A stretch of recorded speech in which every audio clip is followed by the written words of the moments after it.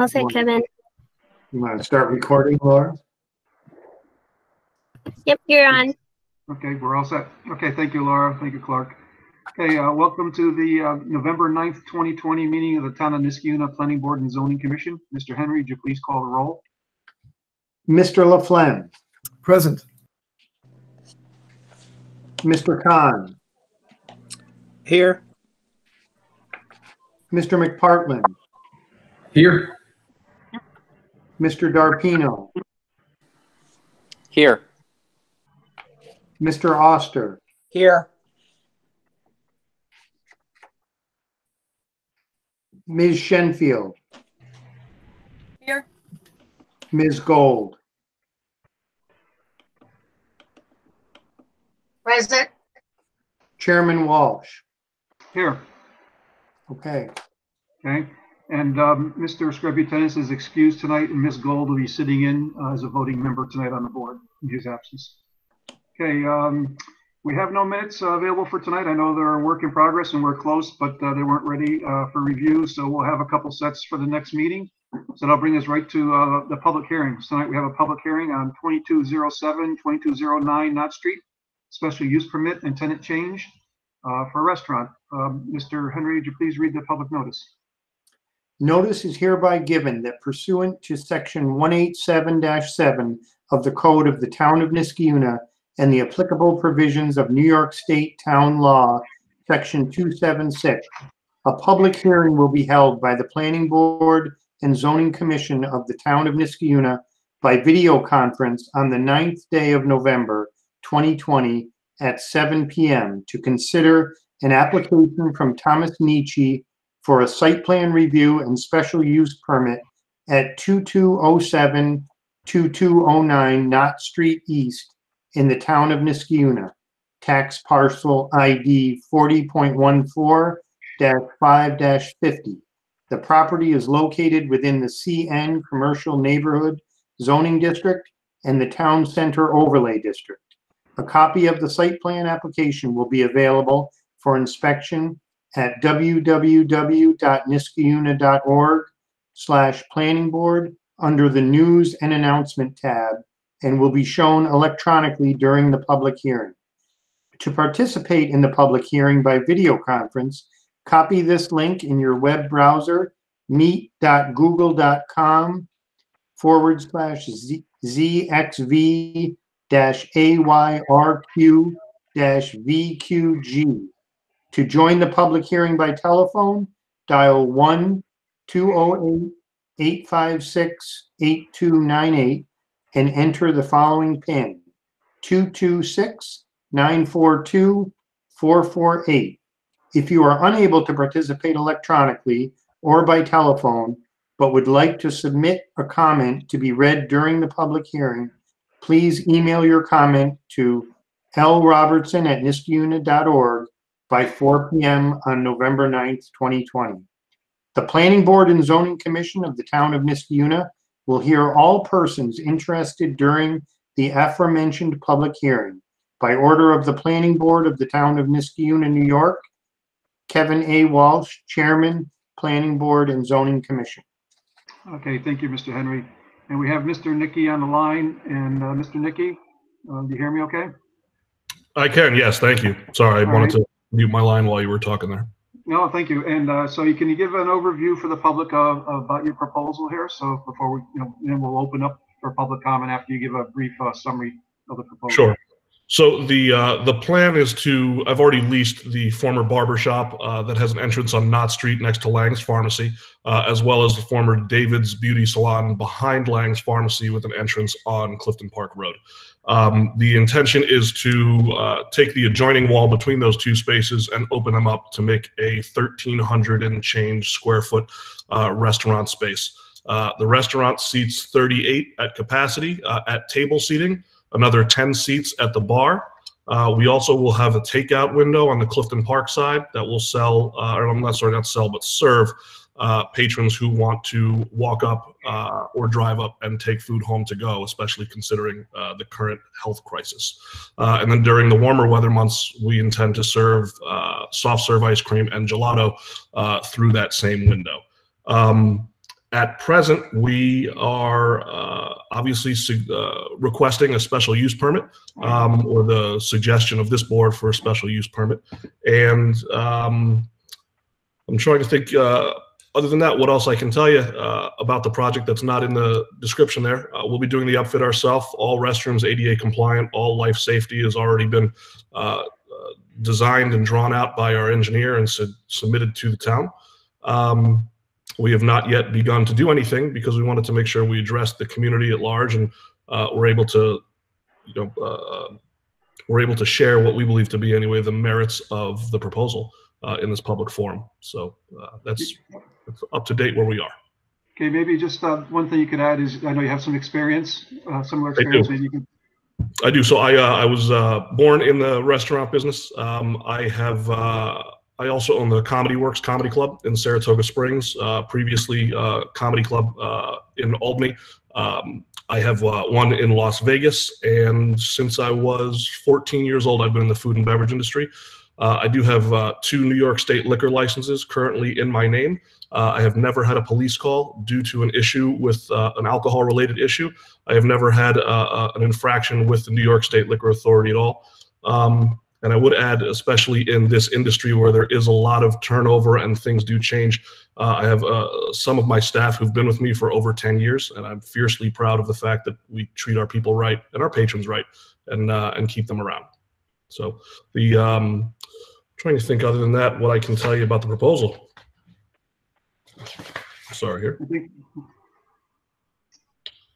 But um, yeah, we do need to do a full uh, a full build out to the space, um, but it's not anything that's beyond uh, my scope. My most recent project was in Saratoga Springs, uh, 7,500 square feet. Uh, I do live in the neighborhood, uh, walking distance, which is nice, um, and I'm looking forward to getting started. okay, thank you, Mr. Nicky. Uh, Laura, I don't know if you had a plan. Uh, Were you going to read uh, anything that was uh, sent in in the emails first and start with that? Or did you want to go to the public that's uh, logged in? Um, yeah, so my plan, I think, so that there's some uh, kind of break in my voice, is that I'll go through um, the emails, and when I get to one that I know, you know, I sent and they want to speak, I'll call them out, and if they're on, then they can speak then, and then, um, you know, then we can open it up when I'm when I'm fully done, if that's okay. That sounds good. Thank you, Laura. Although quickly, I sent this to you guys um, just now, and I just wanted to show you. I'm not going to be reading everybody's name. I think Kevin and I discussed this. Um, you know that we can attach the petition to the um, to the minutes, but um, the applicant submitted a petition of 101 names in support of the proposal. And this is just a quick. And then he attached a map showing where the names were coming from to show that they were from the surrounding area. So that is um, 101 names in favor of the petition. Not going to read every single name, but we will attach them to the minutes. L- Laura, can you go back to the map just for a minute? Oh, I'm sorry. Can you just go Yeah. back to the map for a minute, just dwell for a little? Yes. I know we're in the public hearing section. I didn't want to ask anything, but if you can just leave it up for a little bit longer. Yeah, I just feel like it's sort of turned into the public hearing because it's essentially submitted for that. Whoops. So can you see it? Make it bigger. Uh, I'm interested in the map mostly. There you go. Okay, thank you. So, Mr. Khan, if I can speak, because I created that map, what you see highlighted in yellow, uh, this is all within the same tax map that the uh, proposed restaurant is in. Uh, if you see where that red number five is uh, for the Mhm. tax map, uh, the parcel where we're located is number 50, just below that. Uh, the, mo- uh, the closest neighbor is currently vacant. That's directly across the street on Clifton Park Road. Uh, anything that's highlighted in yellow, those are uh, people who have supported the petition. Um, anything that's in white does not necessarily mean they did not support the petition, but I didn't ring doorbells. I didn't try to intrude on people. Yellow is just people who were out in front of their homes, and I was willing to, or not willing, but able to uh, to speak to them. Uh, I will tell you that this includes 25 parcels of, of the 62 within this tax map. Thanks for the information. Sure. I'm okay, Laura. Thank you. Okay. Okay, so So I'm just gonna, like I said, start in order that I receive them, and when I get to one person that I think is on the line, um, they can jump in. So the first notice that I received on November 5th from the Niskayuna Co-op Market states, Dear members of the Planning Commission and Zoning Board of the Town of Niskayuna, we received notice of the November 9th hearing regarding the application submitted by Thomas Nicky for a site plan review and special use permit at 2207-2209 Knott Street East in the town of Niskayuna. The property under consideration is a neighbor of the Niskayuna Co-op located within, the- within the same CN Commercial Zone Neighborhood Zoning District and the Town Center Overlay District. The Niskayuna Co-op has a long history of supporting our community, including our neighboring businesses. We appreciate the benefits brought to the entire community by local small businesses, and we look forward to having this new neighbor. Warm regards, Beth Greenwood, Co-President, Board of Directors, and Sarah Belaski, Co-President, Board of Directors. Um, the next notice is from Ann Thornton. She writes, um, just wanted to say that the proposed small neighborhood bar restaurant for the Co-op Plaza sounds like a wonderful addition to the neighborhood, an opportunity to create more of a heart Main Street feel to Old Niskayuna.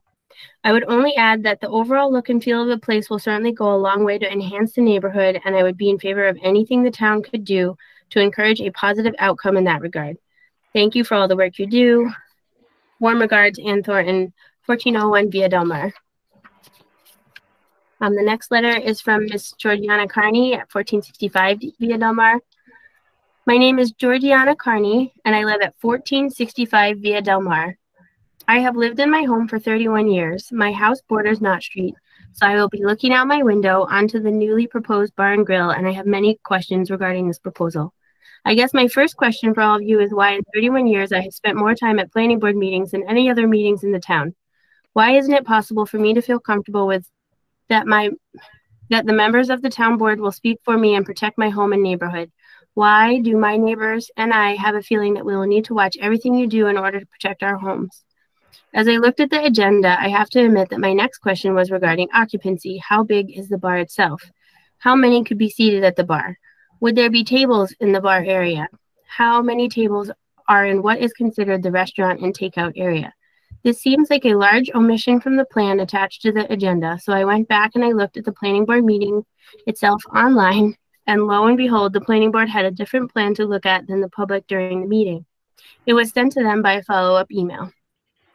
Since the planning board does not publicize its minutes until late the Friday before the next meeting, it seems to me you should at least amend the agenda attachments to include what the planning board is really looking at during its meeting. It should also include emails sent to the board of any relevant information. I looked again today and still no change for the public to look at. Also, in looking again at the meeting video, I found that you decided to hold a public hearing on this subject at the next meeting. Once again, I received no notice of this public hearing. I know someone is going to say that I don't meet the feet requirements or some other excuse, but it's something that is going to be outside my home's window. This is Niskayuna, not New York City or downtown Albany. It is very easy to see who this is going to affect and let them know what is going on. If a neighbor hadn't told me about the proposal, I would be completely unaware of what is going on in my neighborhood. Not what I expect of a small, family oriented town like Niskayuna. Not what I expect from my town officials who are supposed to be protecting us. So here is exactly what you expect from the pesky neighbors. I have questions. Seating. By my count, off of the online sketch of tables and the bar, they will have 10 seats at the bar, four tables in the bar area, which means 16 people, and six tables in the restaurant area, which looks to be 24 people in that area. That is a maximum of 50 people to be seated and does not include employees. Parking. According to the write-up that came with the agenda, this establishment will only require 6.54 parking spaces. You need to look at seating for 50 people, the employees and the tenants above the building who usually park on the south side of Knott, which will be in a sidewalk once the county is done. And also don't forget the people who are pulling in for the takeout. Maybe it would be a good idea to look at the real parking situation, not just use a formula. And while you are counting, please also take into consideration Maria's alterations, Lang's Pharmacy, Niskayuna Wine and Liquor, and the future tenant for the space that was occupied by the Right Touch, the Parcel Post Store, and Computer RX. Side street parking. The side streets of Via Del Mar, Clifton Park Road, and Crescent Road were not built for people to park. The people who purchased homes on these streets did not did so thinking they were moving into a residential area, not a parking area for overflow from a commercial area. The businesses on Knott Street have always respected our streets and our privacy. Do we have ever have overflow? Yes, we do, but it is for things like holidays where people are picking up orders from the co-op.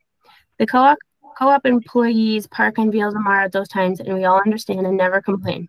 However, we have never had overflow parking planned by our town boards, and I'm sorry to say that is what this plan looks like with 6.54 parking spaces as your guideline.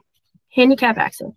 Will a handicapped person in a wheelchair be able to move from the bar area to the restaurant area without having to go outside and around the building or back in on the restaurant side? The drawing submitted only showed stairs between the two sections.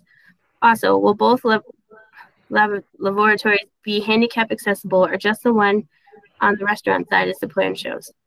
Noise. In nice weather, I like most of my neighbors to keep my windows open.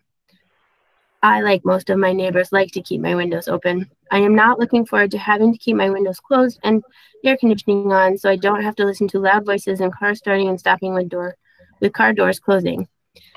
I know it is not Mr. Nicky's intention to have an establishment that causes a lot of noise, but he cannot control his patrons when they arrive and when they leave. It is a fact of life, bars and restaurants cause noise. Lighting. I would rather not the one side of my house lit up even further than it already is, but I am sure that if some that is something we will discuss if and when this change is approved. Future outdoor seating. During the planning board meeting, there was discussion of possible outdoor seating in the future. If I don't want noise and I don't want increased lighting, I am sure you can figure out what I think of outdoor dining without me even having to comment. Comments about bringing life to the area. This comment was made during the last planning board meeting. I just want to let you know that we have plenty of life on this side of Balltown Road. It is called family life. The children's play, people jog, ride bikes, and just walk and greet their neighbors. No, it is not nightlife, and that is the way we like it, just as you all do in the areas of Niskayuna you live in. Please stop trying to turn this into a commercial hub. This is not what Old Niskayuna is or was ever planned to be. I have the honor of being a resident when the comprehensive town center plan was developed. The town hall was moved to Knott Street East from the corner of Balltown Road and Van Antwerp Road, and the post office was removed from Upper Union Street. Niskayuna High School was already over there, as was what was called the Grand Union Plaza, now ShopRite Plaza. To the best of my recollection, recollection, the only reason the west side of Balltown Road on Knott Street was ever was even put into the plan was to acknowledge the five or so small buildings along Rock Street that had commercial occupancy on the ground floor. The commercial hub and town center was meant to be on Knott Street East. This type of establishment belongs over on Knott Street East, not in a residential area. Shopping center. In the agenda write up, it refers to the small building as a shopping center. In many of your meetings, I have heard it referred to as a shopping plaza. Sorry, but I think Colonie Center and Crossgates would not agree with your terminology, and neither would Newton Plaza and Latham. It is my opinion this is a small group of separate, unconnected old buildings in the middle of a residential area. In no way does it rise to the terms of plaza or mall. Learn from recent examples. Although it is in Schenectady, the planning board and town board members would do well to discuss with Schenectady what happened on Keys Ave when the newly remodeled City Square opened. It is a lesson that should be studied before proceeding with this plan. Check how many times the police had to come to that establishment for some noise complaints and daily for complaints about parking, blocking driveways, etc. And they had their own parking lot and not sharing with other businesses, businesses and apartment dwellers. In conclusion, having owned a bar and grill on Long Island and having had a liquor license in my youth, I want to be sure that you understand that I am not against such an establishment. I too would enjoy a place to have a glass of wine and somewhere to eat with friends. However, this is not the right type of establishment for this area. This belongs in the ShopRite Plaza or on Union Street, both of which I believe have vacancies and ample parking available. I am sure the rental terms would not be as favorable as the Langs, but that is because it is where this type of establishment belongs. The next letter is um, from Holly Clark and Edwin Eagleston. Thank you for giving me this opportunity to, to respond to your notice of public hearing about the request of Thomas Nicky to obtain permission to open a restaurant at the above captioned address.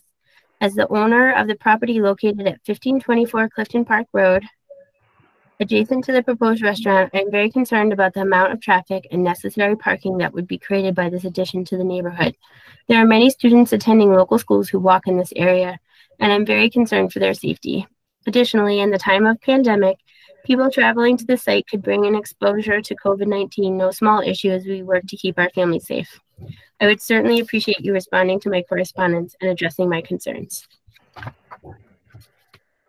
The next email is from Eve Kaufman, and she, she writes, I reside on Regent Street with my husband, and we would so appreciate the addition of a neighborhood restaurant and bar, one to which we could walk and meet friends and make friends. The fact that the prospective owner is also a Niskayuna resident speaks to their commitment to help our community grow and thrive.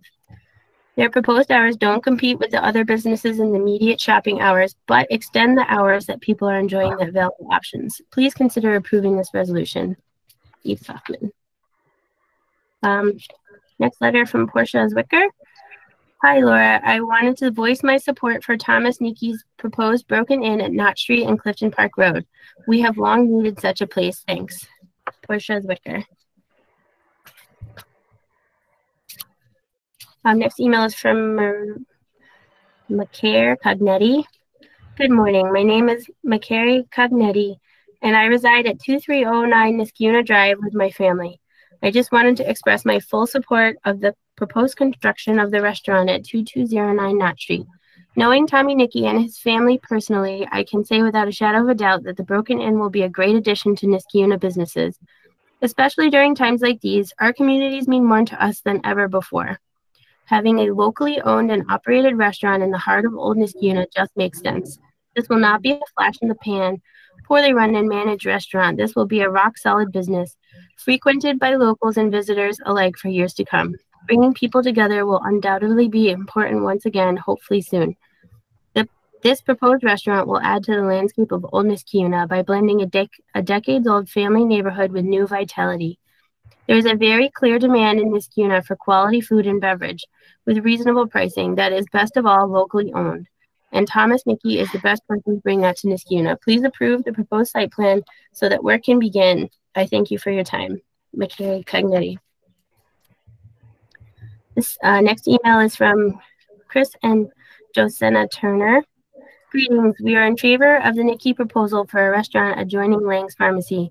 The proposal is well thought out and seems to have an awaiting customer base. Regards, Chris and Joe Turner, 1569 Dean Street.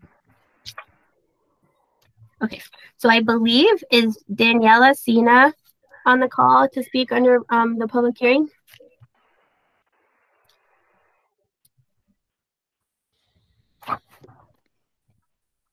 Daniela Sina.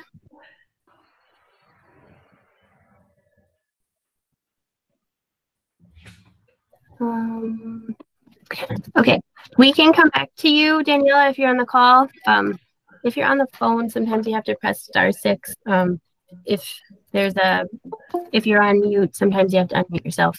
But I did note that in her email after she asked for the login, she wrote, looking forward to today's meeting. We're very excited about the new restaurant. Do you Um, know, Laura, do you know what number she is? What phone number? Is she still online? 1420 Via Del Mar. Do you know what phone number she is? Is she, is she online still, do you think?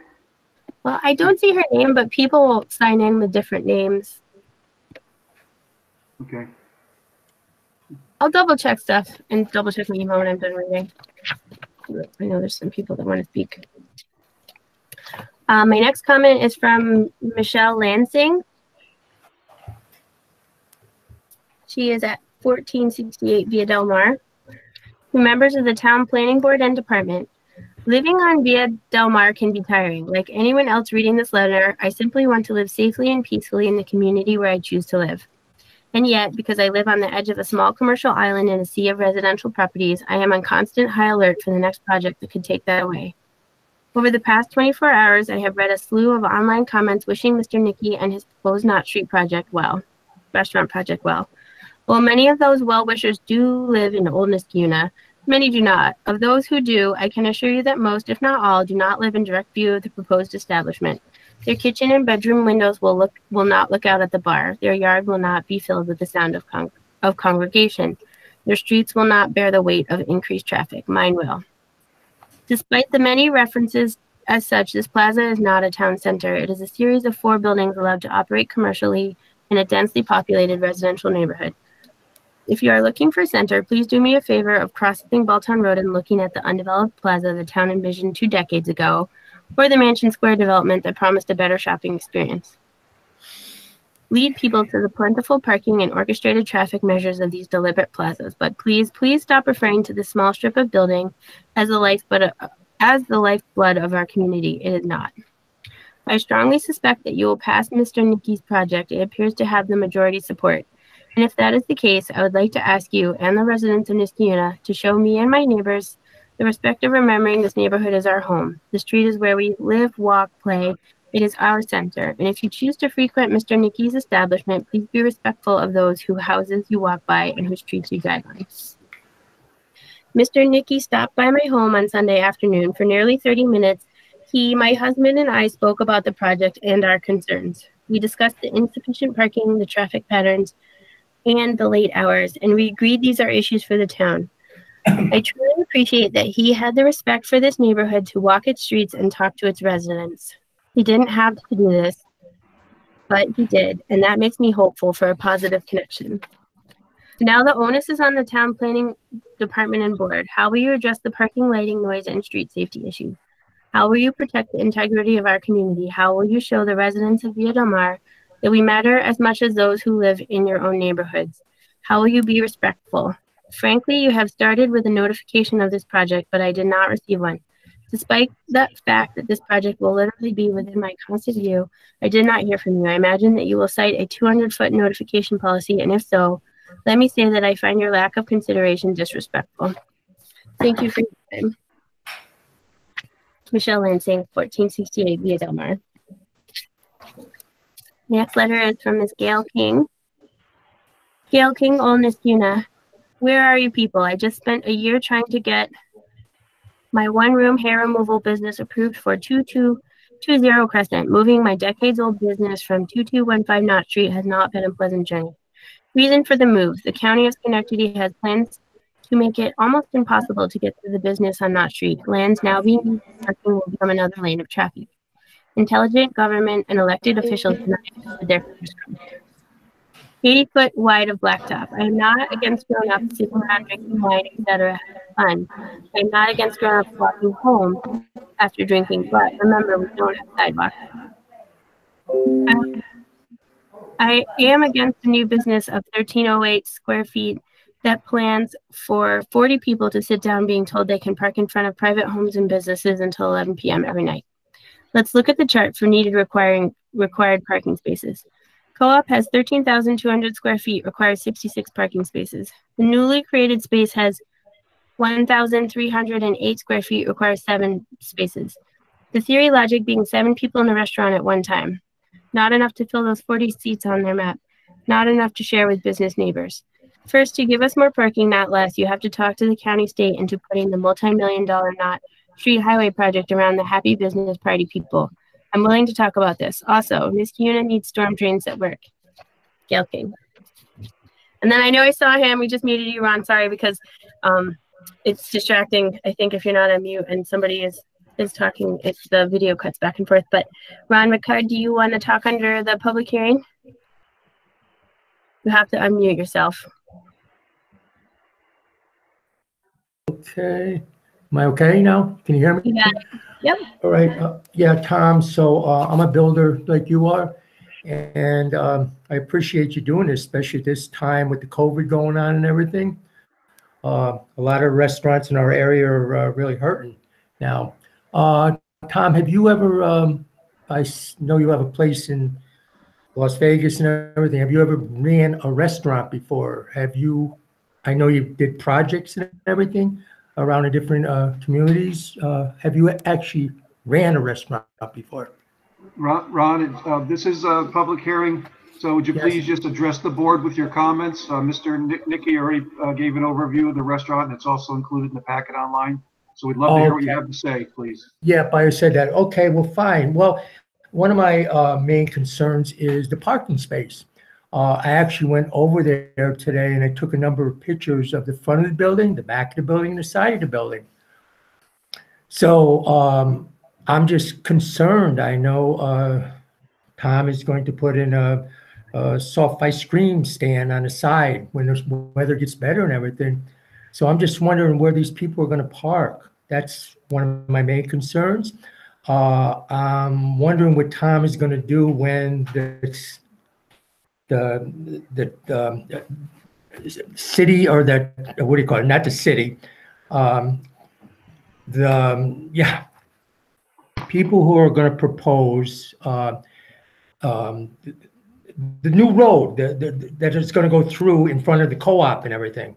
So all the designs, all the designs have been gone with and approved. Um, so when this is going on, I don't think anybody is gonna be able to park in front of these buildings. Not only see, uh, not only, um, the Broken Inn, the barber shop, which is, was the barber shop. So anyway, I'm ju- just wondering what Tom, uh, plans to do with these park people when this project is going on.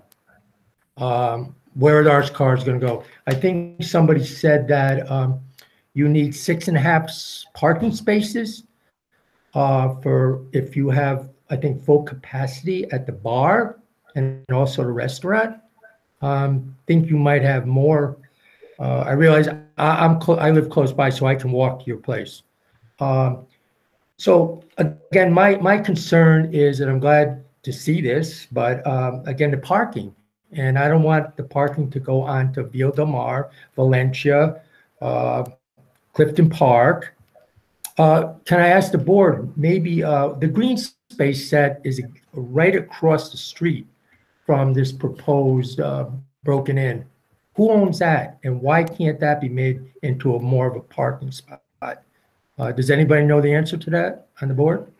So directly across the street, there's a lot of, some, somebody mows that all the time. So, um, so it'd be on the corner of what, uh, Clifton Park, I believe? Yeah, that's private ownership, but uh, we'll listen to your comments, sir, okay? Okay. I understand. You're just looking for more, uh, input. Um, so, um, you know, that's, you know, my only comment, I'm very worried about the parking space. That's it. How it's gonna go, uh, onto the other road, Crescent Road, Clifton Park, uh, and that's it, you know, um, I understand Tom, uh, is a builder and does know the, I went around the back of the building.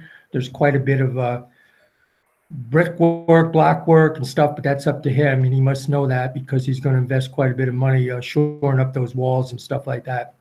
Uh, but that's up to him. Um, I guess that's all I have to say, guys. Um, thank you for letting me, uh, speak and, um, we'll see how it goes. Okay, thank you, sir. Yep. Appreciate it. Anybody else, Laura? So uh, that's all I have on my list. If we just, you can just open up to anybody else on the call now. Okay. Is there anyone else on the call wishing to be heard uh, regarding the uh, public hearing for 2207, 2209 Nott Street? Anybody else? Hey, Laura, we have uh, Daniela and Steve Cena. Great, yeah, go ahead. So thank you for the opportunity to speak. Um, we're super excited about this project, my wife and I. Yeah, we're, we're super excited about this. Um, we understand the concerns about parking. Um, from what we've gathered from the different plans, it looks like there's more than ample parking uh, for the project.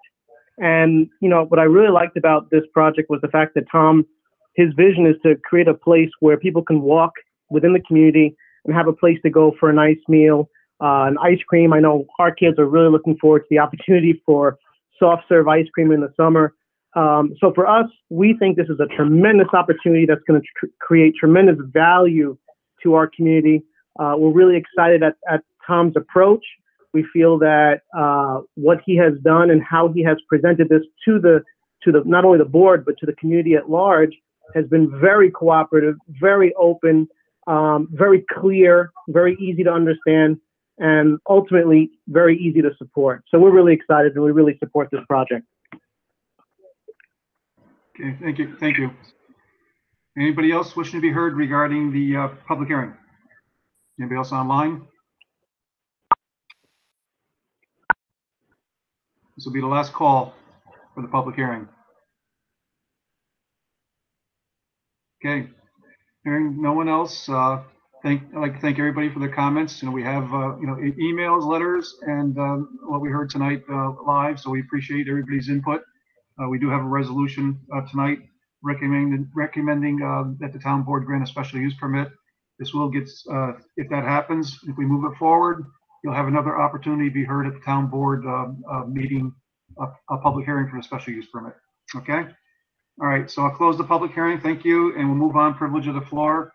Anyone wishing to be heard regarding any planning and zoning matters in the town of Niskayuna, please uh, state your name and address for the record. We'd love to listen to what you have to say. So privilege of the floor is open. You receive any letters for privilege of the floor letter, uh, Laura, or uh, emails? Not specifically for privilege of the floor, no. Okay. All right, hearing no one and uh, having no uh, input for privilege of the floor, we'll close privilege of the floor. And we have no unfinished business tonight, so we're going to move right to new business. Under new business tonight, we have two uh, resolutions. I'm going to flop the order of them because I want to go in a numerical order that the resolutions uh, will be recorded. So resolution number two on the agenda is actually resolution 2020-33, a resolution for sketch plan approval for a four-lot subdivision at 2627 Troy Road for Bisalon Properties. That uh, resolution has been posted to the website and was available to the public, but I will um, please, um, summarize it. Get somebody, we have to mute there. Somebody's on. Okay, okay, um, so 20, uh, 2020-33. Resolved that this planning board and zoning commission does hereby classify this sketch plan as a minor subdivision as defined by chapter 189 of the town of the code of Niskayuna and be it further resolved that the Planning Board and Zoning Commission does hereby grant sketch plan approval for the concept subdivision drawing entitled Sketch Plan Prepared for Street Number 2627 Troy Schenectady Road, Town of Niskayuna, County of Schenectady, New York, by Advanced Engineering and Surveying PLLC, dated September 10, 2020, revision number five, entitled Revision Lot 4 Driveway Entrance, dated 11/2/20, with the following conditions. One, the open space shall be dedicated to the town of Niskayuna with a deed restriction that shall remain forever wild. Do I have a motion on the resolution? Uh, I guess it would be Mr. McPartlin. Uh, yes, Chairman Walsh, I I move for adoption of the resolution. Okay, thank you. Move for adoption by Mr. McPartlin. Do I have a second? Second. Seconded by Mr. Oster. And discussion. Anything, Mr. McPartlin? Um, just, uh, I guess, uh, a couple updates to the plan that, um, um, I'd like to highlight. First of all, um, the lot lines have been slightly redrawn to show a, a bit more land on the northern end of the parcel being, um, deeded to the town of Niskayuna as highlighted, um, in your review of the, uh, the resolution, um, to remain forever wild. Uh, Secondly, um, the, whereas the access to proposed lot number four is currently off of Route 7, um, the plan now shows access um, proposed onto Shannon, off of Shannon Boulevard instead. Um, uh, I believe this was a, a very, uh, a very wise choice um, by the applicant and um, um, further supports the these these this subdivision um, being uh, of, a, of completely residential nature. It makes all four lots more more desirable and saleable. Um, uh, but, but as it relates to classifying this as a minor subdivision and um, granting preliminary sketch plan approval, um, I'm very happy with that we have before us. Okay, okay. thank you, Mr. McPartlin. That it? Anybody else have any comments regarding the resolution? You know, I just like to state, state that, uh, you know, this is a sketch plan, so this kind of gets it going, kind of locks it in so that, uh, we can go forward. It's not, you know, final approval, so there's still a work in progress. We know we've heard some concerns from the neighborhood. Uh, there's only four lots. As you all know, it started out as five lots as a major subdivision. We're down to four with all access off of Shannon Boulevard, as, as Mr. McPartlin has stated. Um, I know there's some concerns still Uh, but there is a, a good chunk of, um, of, of space that'll be dedicated to the town and possibly turned over to Nature Conservancy as a result of this. Um, um, and, um, you know, I think, uh, you know, the applicant will do a good job here, so, um, I'll support this. Anybody else have any comments? Okay, Mr. Henry, would you please call the roll? Mr. Laflamme, Aye. Mr. Khan, Aye. Mr. McPartlin, Aye. Mr. Darpino, Aye. Mr. Oster, Aye. Ms. Gold, Aye. Chairman Walsh. Aye. Okay, the resolution passes and a sketch plan uh, is approved uh, to allow this to go forward. Uh, Thank you, everyone.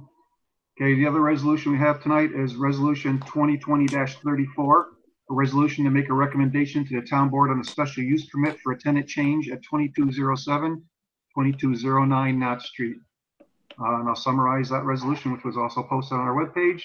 Further resolved that this planning board and zoning commission hereby recommends that the town board grant a special use permit for a restaurant at 2207, 2209 Nott Street, subject to the final site plan approval with the, and with the following conditions. One, the facade upgrade shall be referred to the Architectural Review Board.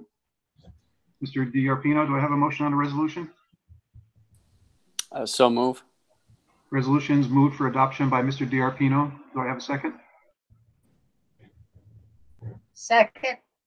Okay, second by Ms. Gold, and we can have some discussion. Mr. Chairman, Mo Yes. Oster. I, I, I would just like to ask a question because in just in preparation, I missed last meeting, but just in preparation for this meeting, I did come across an article about a previous establishment that I think had been operated by Mr. or maybe it's still being operated. Maybe it's a different Thomas Nicky, but I guess I'd like to have him clarify um, about certain things that had to be ta- signs that had to be taken down in his establishment in Hoosick Falls. Sure, that's uh, not my restaurant, number one, but I am familiar with the story. Okay, that's not your. That's that's the article that referenced your had referenced in the Times Union had referenced it being your restaurant. Correct. I'm, t- I'm I'm not a junior. I have a different middle name, but my father, who opened our restaurant business, has his establishments, and I have my Okay. own. So it's a different. So it's a different different person. That's right. Owned it. Correct. Okay, all right. That's why I wanted to ask the question before I Sure. before I got into any uh, because obviously it was very it was somewhat disturbing. The same town that would would approve a Holocaust memorial having the sign about a gas chamber. So, but it's not you. So, okay. Thank you. Sure. Thank you, Mr. Oster. Other discussion? I, I guess I'll, uh, I'd like to say that, you know, thank, thanks to the public for your input. We do appreciate it.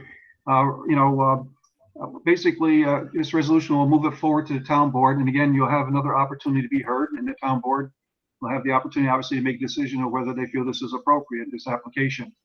Um, uh, the biggest concerns we hear, you know, are, you know, typical concerns that you would expect for this type of establishment, noise, lighting, parking, uh, nothing new there, right? Now, uh, looking at the, uh, and this might be a question for Laura, taking a look at the, uh, um, the schedule for neighborhood commercial. Um, you know, again, uh, the quotation that's, uh, one parking spot per 200, uh, uh, square feet of area. And that's where the approximately six point, basically seven parking spots comes from that are required for the restaurant. But the assumption is there um, on that part of the schedule is that the parking is shared.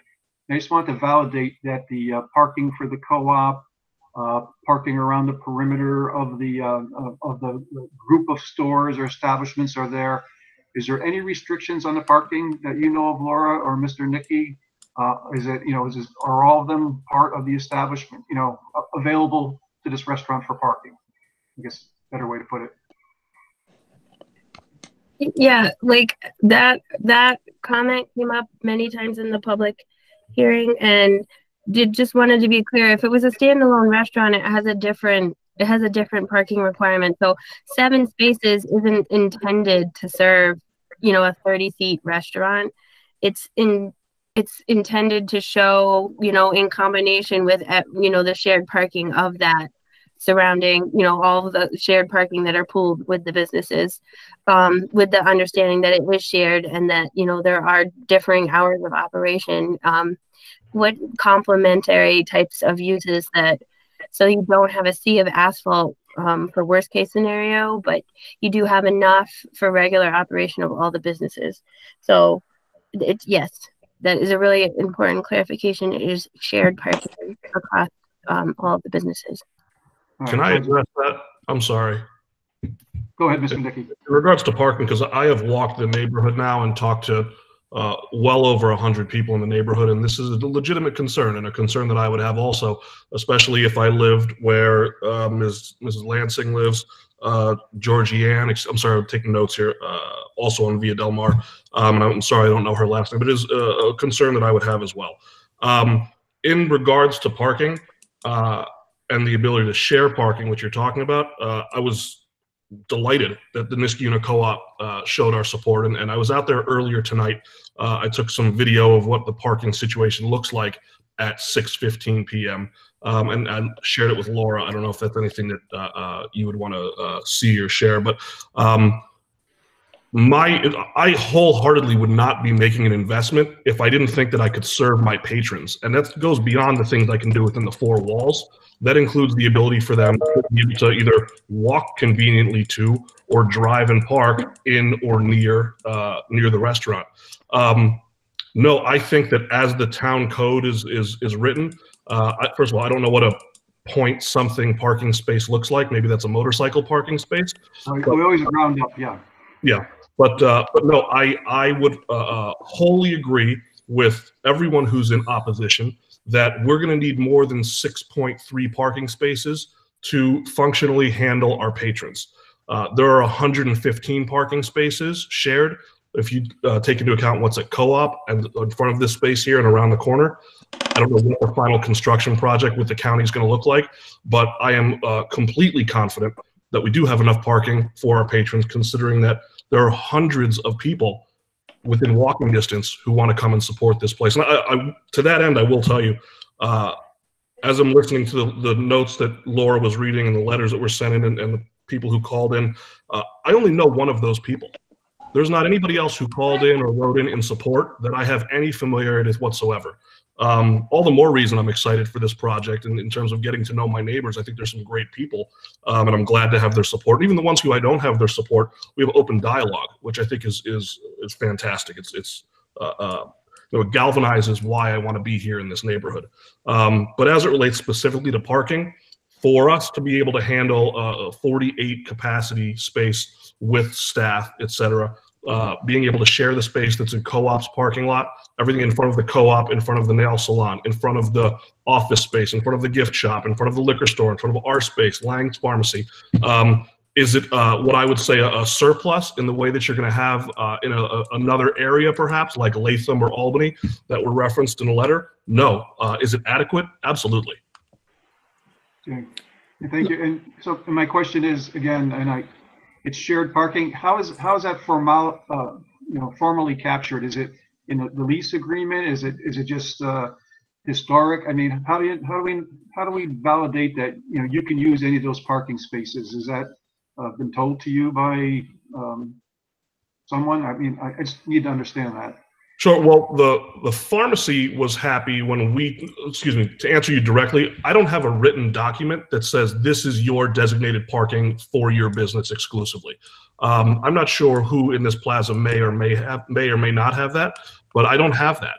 Um, I do have uh, the support of probably the most respected businesses in this community who have told me that they are happy to share their parking with me because there's a synergy between our businesses. Um, so if you're looking for something pen to paper that says you have spots number one, two, three, and four exclusively for your space, it's not something that I can provide to you. But if you want to take the word of you know 50 years of pharmacy and 60 years of grocer, then that we've got. Yeah, I'm not looking for exactly what spaces. I guess I'm just looking for something that says, you know, all, all the establishments located there have shared Sure. parking. That's all, you know, because that's obviously important to the public. It's Yeah. important to us. It's important to your business. And, uh, uh, and if we, you know, if we have to follow up with that, again, uh, it's going to go to the town board. I think we should, you know, somehow make sure that, uh, uh, we don't just say that, that it's, it's a fact reality that the parking is in- indeed shared, okay? So I will, I will tell you the, the specific tax lot building, if you will, where this space is located. Everything is closed at six PM and this building alone has just about twenty parking spaces around its two sides. Yeah, I understand. And, and as Laura mentioned, also, if this was a standalone, if, you know, if it wasn't shared parking, it was a standalone, it'd be, uh, uh, fif- per, uh, fifty square feet, so it'd be on the order of twenty-seven parking spaces would be required for this establishment Correct. versus the seven that are called out because you have shared parking, okay? Now, is there something that you'd like me to provide to you?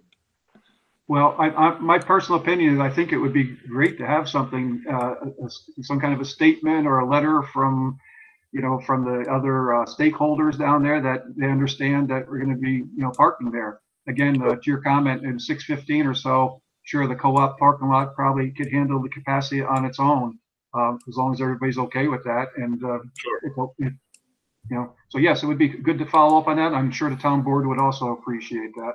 Sure. Uh, okay, does anybody else have any comments? No, I was just gonna reiterate that, Mr. Walsh. I think that's consistent with some things we've done in the past with shared parking. Um, so yeah, I'd, I'd like to see that. Just a couple of quick things. So some of the um, concerns about the neighbors on the Via Del Mar side and the south side. Laura, in the in the new plan that the county is doing on the road, is there going to be some kind of a tree line um, from like that that interrupts the view between, let's say, Via Del Mar and where uh, this uh, proposed restaurant might be, will be? Or Um, I mean, not to the extent that the co-op owns the parking lot adjacent to Michelle, and Miss, you know, Miss King owns the green space adjacent to um, Mhm. Georgiana. So, if you're if you're thinking like, is the county going to landscape for the closest residents on Via Del Mar? The only thing that the county could do would be all the way on Nott Street. You know what I mean? Yeah, yeah. Um, I, know. I mean, I and there may be like there, Yeah. there may be some opportunities for street trees. I did get the most recent plan. But um, you know, as far as like a full landscape buffer along Nott Street, I think um no, just the opportunity potentially to put some landscaping um and some street trees like along Nott Street, yes. Yeah, I mean, my question was just basically what is on the current count, county's plan relative to some kind of landscaping on that street. Um, Yeah, let me let me see if I can get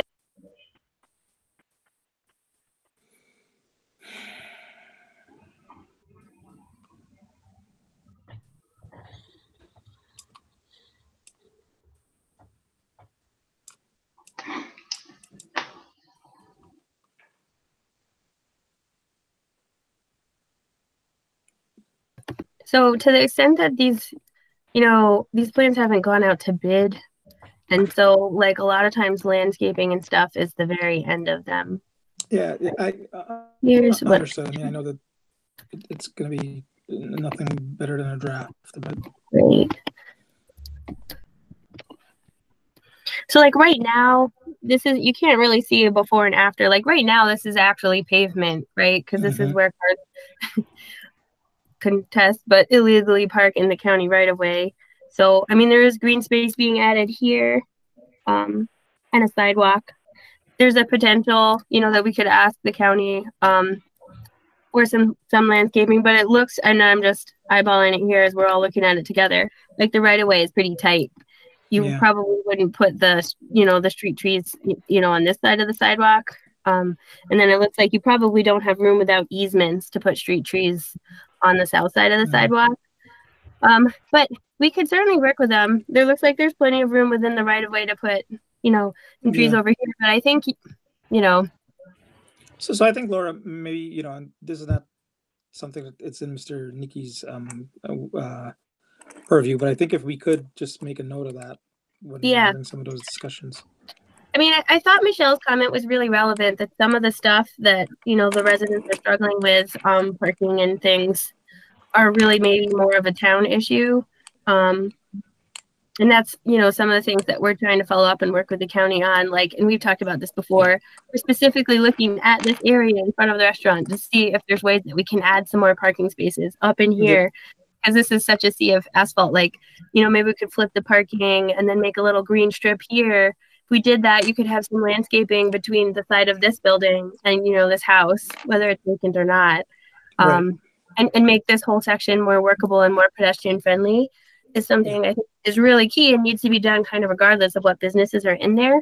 But I mean, you can definitely hear and understand the frustration. We're not trying to create on-street parking. We're Yeah, trying I, I rem- yeah, I had remembered this plot relative to the parking, and I think we do have that opportunity on the parking. So my concern isn't um as high in that one, but I think whatever we can do, like you were just recommending, we should. I was just trying to see in the first question that I asked if Here, there was some way to visually just um you know hope it, you know it, remove some of the impact. Like I think uh, Miss Lansing's property does have a line shot view. I think to the She's the you know where Langes Yeah. is right now, and um yeah. So anyway, that's I, I think we could jot down a note on both of those for when the discussions go with the county. I think whatever we can do there can help.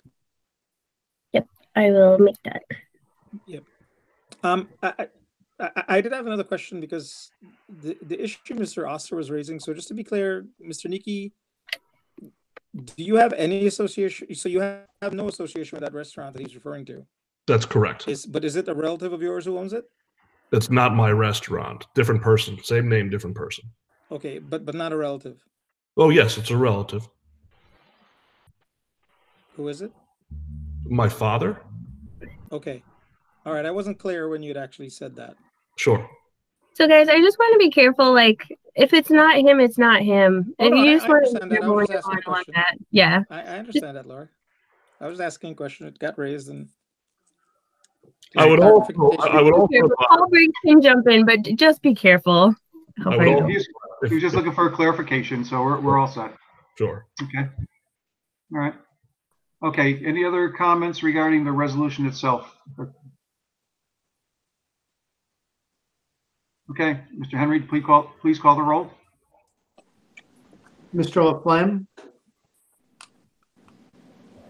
Aye. Mr. Khan, Aye. Mr. McPartlin, Aye.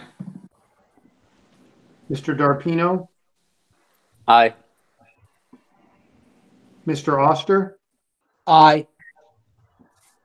Ms. Gold, Aye. Chairman Walsh. Aye. Okay, uh, the resolution passes. Uh, we'll, we'll uh, move this on to the town board. Uh, for the public's uh, information, again, the town board will also have a public hearing, so they'll have another opportunity to be heard. If the town board does issue the special use permit, it'll come back to the planning board, and we'll work on, uh, uh, details, including, uh, making sure we don't have any light pollution that, uh, crosses any boundaries or bothers anybody, and, uh, we would like something in writing that clarifies that it is truly shared parking there.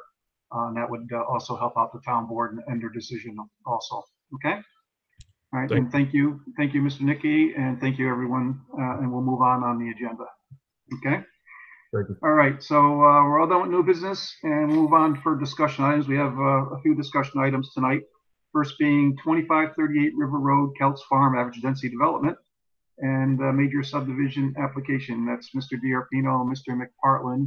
And I believe what we're going to have tonight is basically an update. Is that correct, Laura? What what do we have in the action tonight? Just discussion.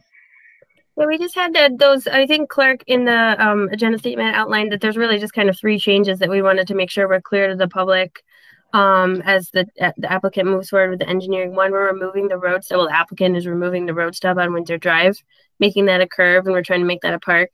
Um, two, I think we landed on twelve feet for the bike path, um, for ease of, um, emergency vehicles, but also because it's adjacent to the sewer line, and so potentially a vac truck will sometimes have to be out there as well. And what's the third one? Clark. I'll look at it quickly. I'm scrambling to pull up the agenda. Yeah, me too. Yeah, I'm trying to find it. I've got it pulled up, but you gotta scroll through it. We wanted to more clearly show sewer easement, and uh, one of the thing is, um, I think, I think um, it was town town water and sewer that recommended. I forget who recommended that Paul. um, there be Paul, that was Paul Sheldon from the county. okay. Okay, oh,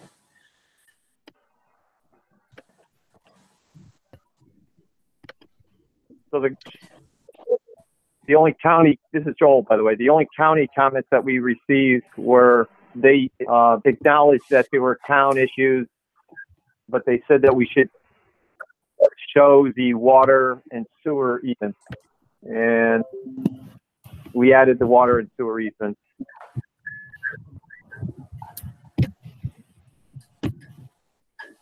Okay. Is- Is that all you had, Laura?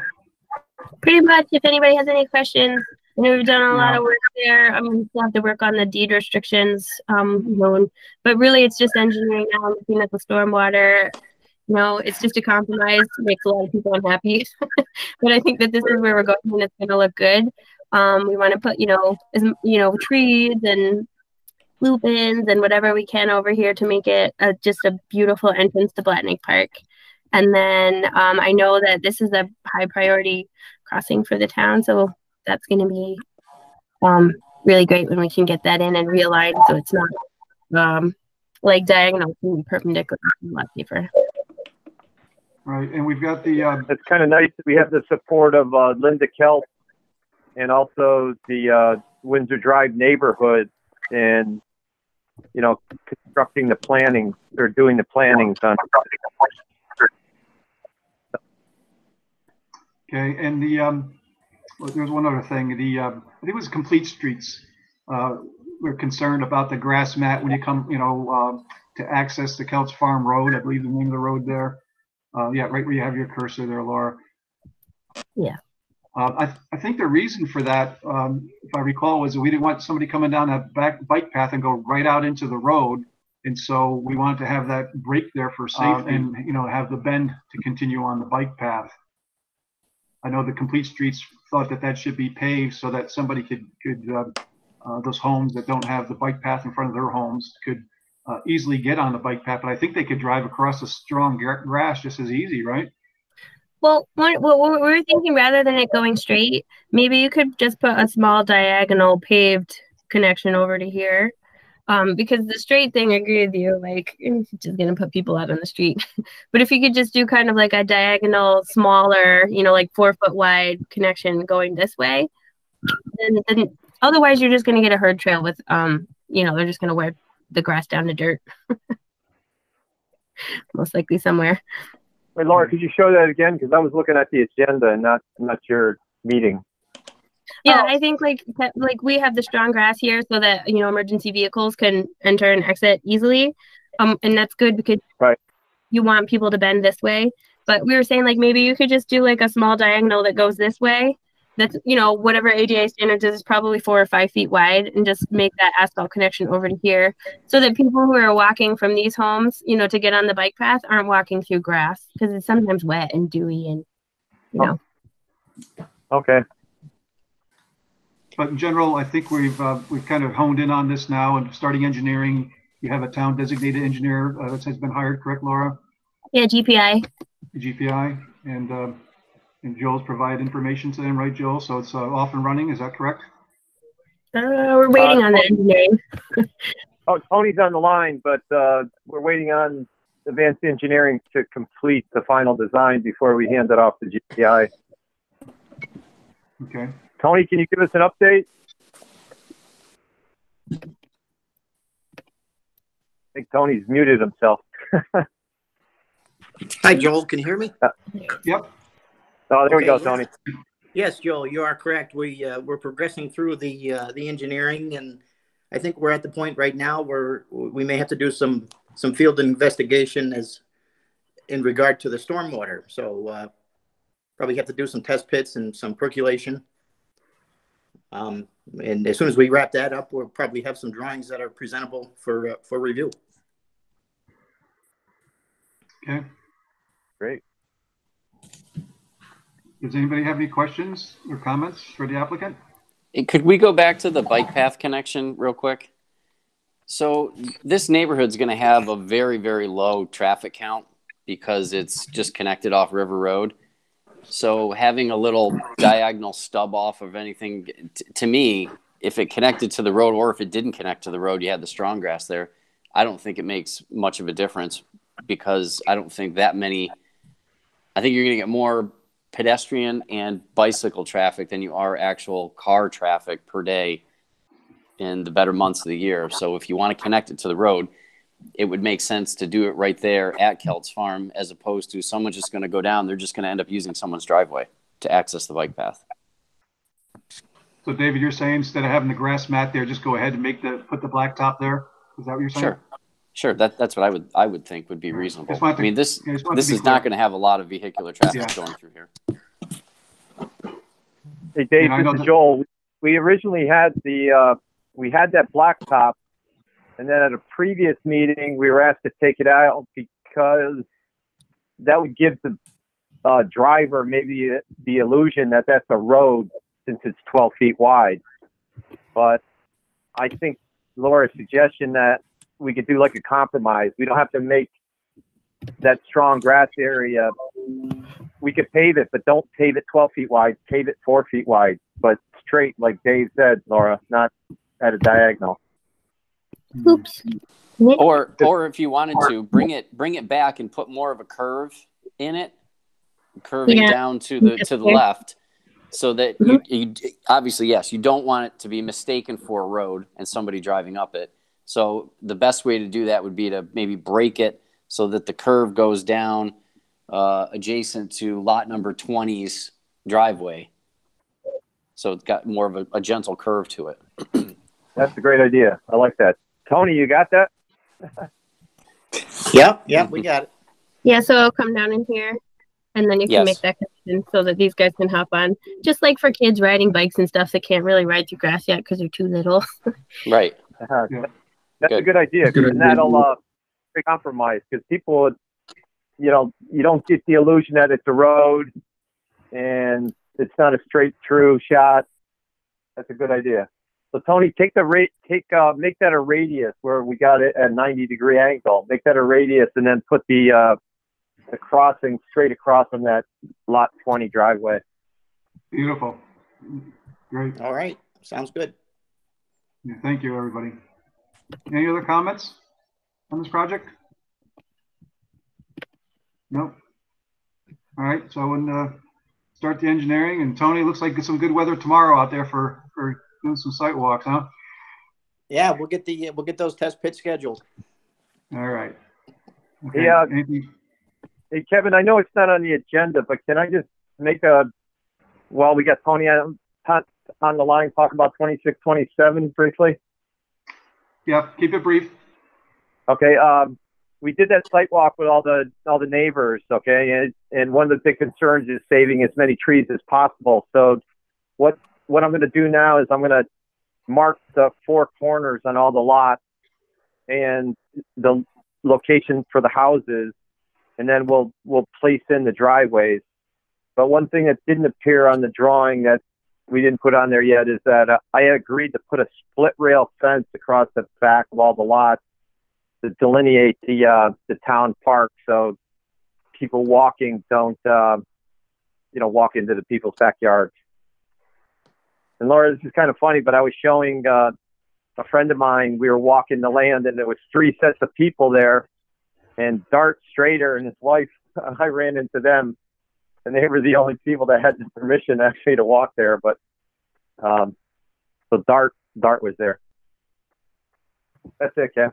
No, We'll That's put great, a- Joel. We're gonna add a split rail fence on there. We're gonna delineate the lots, and then the house locations, and work with the neighbors and Laura, obviously, and tree committee, to site the driveways. Yeah, I think that was really key. Patrick showed up, I think, when we were talking about the driveways. That was really key takeaway from the neighborhood um, meeting was to try and locate those driveways in such a way that it has the least impact to trees and you can kind of maintain the most buffer to Shannon Boulevard. I mean, there's still, like you guys know, there's still a lot of frustration going on with, you know, the original uh, subdivision versus what it ended up being. But I think that, you know, being as sensitive as you can to the trees, and we appreciate Joel working on that, is really helpful. And the other thing I just wanted to say really quickly is that we had originally called for the public hearing, um, but just to clarify, we can't hold that until we have our SEQR determination. Um, and the CAC would like to review this project for one more month. So um, we wouldn't be able to call for a public hearing until we have that SEQR determination so that the application is complete.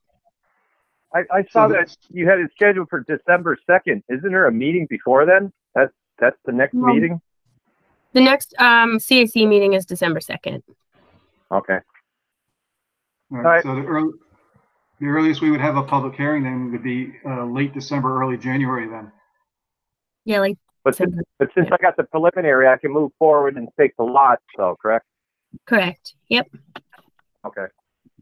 Th- My frustration with the SEQR, and everybody kind of knows this, and you can even read it on the website, is that um, for subdivision, you have to have uh, the state doesn't consider a subdivision application complete until you have SEQR determination.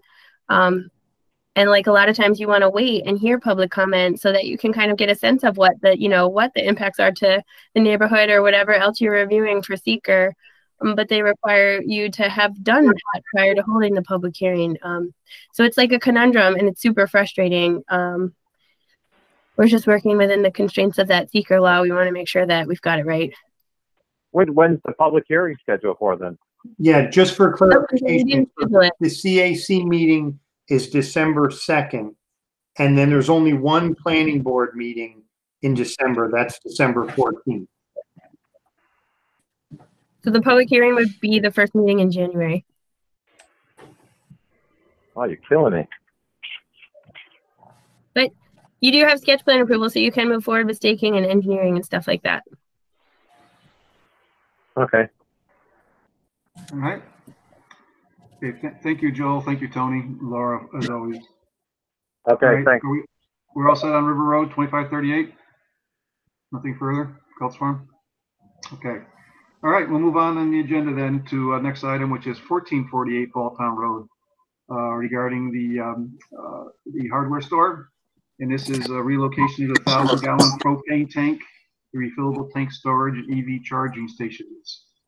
Um, and that was included in our agenda packet, and I, and there was an updated uh, map that kind of showed those locations there. I know this is, uh, Mr. Khan and Mr. Laflamme were supporting this project, so I guess I'll turn it over to you guys if you'd like to talk about it. Anybody get, everybody get a chance to take a look at the uh, map? Yeah, yeah, it looks like the island, the shape of the island that the uh, uh, platform is going to be located within, that shape doesn't look any different. That was always Right. an island, same configuration that it is now, but the raised platform, and it's going to be raised. Um, how much is it raised? Like, was it six inches or ten inches? Like, Laura, do you know how that is going to? Is there a step up? So sorry, Tony, you're causing some feedback here, but both Tony Mantello can probably speak to this project as well as Thomas Dingley. They're both on the line. If you guys just want to give a quick overview. Yep. Yes, sure. Tom, I don't want to step on your toes here, but I can, um, No, Tony, if you, if you understand the project, go right, ahead, please. okay, very good. The, the, uh, the parking island is an existing island and I believe it's, uh, correct me if I'm wrong, but I believe it's just six inch curb. And the, the new concrete slab that'll be placed in, in the middle of that island will be flush with, with the, with the grass, the grade on that island. Okay. Yeah, I just want clarification on that. I wasn't sure if it was raised up and you had, had stairs and there might be a railing that's required as a result of it. No, No, if, uh, if, if you don't mind, I'll interrupt. I mean, uh, that, the, if we're talking about the propane station alone, or are we talking about the charging stations as well? Oh, well, let's, yeah, we're going to talk about both of those. First. Okay, so, I mean, both pads will be fairly similar in elevation. And if they do step higher than the grade itself, uh, I don't see it being, uh, greater than six inches above the existing grade of the island. We did cut both islands down because I think there was about twenty years of, of, uh, wood chips on there. So, uh, we did cut the elevation down to virgin soil, uh, which I think if you stopped over the site, uh, tomorrow, you'll, you'll see about a foot elevation change from what was existing. So we'll go off of that elevation, we'll place our pad, and then we more than likely will eventually place, uh, wood chips and, and a little bit of green area around the, around whatever concrete is required for both the propane and uh, charging stations. Excellent. Yep, Yep, and the, uh, as far as delivery goes, it looks like it's accessible, um, all around, so it shouldn't be an issue there, right? All right, all right, so on delivery, I'm not sure if it was ever uh, relayed to you guys with uh, Nick Costa. Um, I think we changed the delivery from an 18-wheeler back to a, you know, to a box truck. Because so we, we handle all our own deliveries now with Ace Hardware from the warehouse in, uh, in, um, I think it's exit, exit 12 or exit 18. I can't remember where that warehouse is. But anyway, we, we take all our own deliveries now. So uh, what we accommodated for, I think in the site plan was for an 18 wheeler. And, and we found that we still had enough room uh, to maneuver an 18 wheeler, 15 four, well, 54 footer. Uh, but uh, in reality, we will be doing all our deliveries in a box van. So uh, deliveries are, are much less of a concern on that site than they ever were. That's helpful to know. That's great. So do we, uh, you know, this is just an update, Laura, about the slight modifications to the site plan. Do we have any action that's required by this board at all? It's um it's kind of up to you guys. Typically on the EV charging stations, I just give you an update, and on the propane tank, you've typically um kind of approved them by a resolution. So this is like a hybrid. I am okay with you guys kind of doing a straw poll and letting it be an administrative action okay through building permit, or um for propane, we can bring it back to you for a site plan amendment next meeting. Well, the propane, uh, uh, always the concern with propane is, you know, how's it look? And obviously this is a pretty isolated area. And then safety, making sure that it's got, uh, you know, the engineered correctly with the correct number of bollard, bollards to, you know, to protect, uh, any types of collisions. Uh, obviously that it's a little tough to see on the drawing that we have now, but I would assume that, uh, all that has been taken into consideration, uh, right, Mr. Dingley, as far as, uh, safety for bollards and so on and so forth? Yeah, I tell you, I, I uh, believe we left it up with Nick Costa to give us what was required for protection around that uh, propane station. Tony, you want to respond to that? Uh, yeah, actually, we, uh, we, we- we, we coordinated with, with the, the propane uh, suppliers and the manufacturers on some of their recommendations on the code requirements for the bollards. Okay. So, So, Okay, I It's- It guess I'm seems like on the, on the one thousand foot, on the one thousand gallon tank, there's seven of them. I'm, I'm sorry? Yes. It seems like there's seven bollards for the one thousand gallon tank. right. Okay. And for the I'll leave it up cages to for the- the propane tanks, you already had three there, right? Yes, they were on all the corners. We, we tried to look at placement of those Right on the bollards corners. so that it would, that would be effective from the, you know, against the vehicle impact. L- Laura, mm-hmm. there's no, Yeah, in- there's no distance requirement for propane and EV charging stations, is there? A distance requirement? That- That's a good question, What- Mr. Khan. Yeah, I'm just asking. It's, it's a The- common the- sense the, question. uh, I don't know if there's a code on it. I'm not aware directly of a code requirement, but the, the, the, the- the propane manufacturer or the supplier indicated uh, some dimensions to us, which we used in the placement of the tank. That, that's a good question, because one of the things we run into, like, with, well, I've run into it, like natural gas is, you know, there's always a relief valve, and a relief valve has to be a certain distance from any, uh, ignition sources. So I gotta assume that on this thousand gallon tank, there must be a relief valve somewhere on it. Um, is, in Tony, maybe, you know, I don't wanna, so that's probably something we should just make sure that the relief valve is like at furthest away from, uh, any parking spaces or charging stations, if that's possible. Right, Um, right. Yeah, we, we can look into the code requirements to that a little deeper here and, and just. Yeah, so that's something some- we'd like to hear back on, I think. But Yeah, other than That's a that, good question. I think Sure. Kevin, Kevin, this is Clark. I, I can verify that one of the building inspectors did look at this drawing and he reached out to a fire department chief to get, make sure that the proper um, reference was being cited for the propane tank. But the propane tank next to a charging station is an excellent question, and I'm not sure that was part of the discussion. So Yeah. we can go back and make sure that that's looked at. Yeah. So, so I guess uh, my takeaway is I think, I think we're good, pretty good with, uh, with the changes that are are proposed. Um, and- but let's validate that there's no safety issues, uh, whether we're like nat- uh, propane, gas manufacturers or association, whoever, whatever recommendations they have for the relief valve and distance from any parking spaces, whether it be electric or, um, or regular, I'll make sure it's okay. All right, Tony? Yep, sounds good. If if you get us an answer, just, I think we're okay with that, everybody? And Yes. obviously, and if a concern is identified, then make sure you engineer the concern, uh, the problem away, right? Right, very good. Okay. All right, The only thing I can think of is there is a distance requirement for propane tanks in the residential zone. Needs to be so many feet from rear yard and side yard and that kind of thing. all right. I know because I had to inquire when I got my house. All right, so, um, I don't think we need to do a show of hands or anything, like, unless anybody has any concerns, you can just let us know right now. Otherwise, we'll uh, have the applicant uh, validate, uh, the safety requirements for location of the, uh, propane tank or any relief valves uh, relative to, uh, charging stations or vehicle, vehicle parking spots and get back to us. Uh, I think we're all set then, okay? Okay. I'm agreed with that, Chairman Walsh. So sorry, just for clarification, um, this is a good enough meeting to have reviewed it and administration can move forward with the building permit based on the discussion, or you guys would still like to do a resolution? Uh, I, I'm okay without a resolution, but I- I'll, you know, make a, it's a recommendation for Mr. Khan or Mr. Laflamme. I'll Yeah, I, I- I'm okay with a, with it being administrative, resolu- uh, with it be, be pursued with, followed up with an administrative action. Right. But I do want to hear back about the, uh, Okay, so we can, we can follow up on that and then just bring it back as a report, like the final configuration. Okay, and the and only, you know, obviously, obviously if there's an issue, then I guess it comes back to us anyway, right? Okay.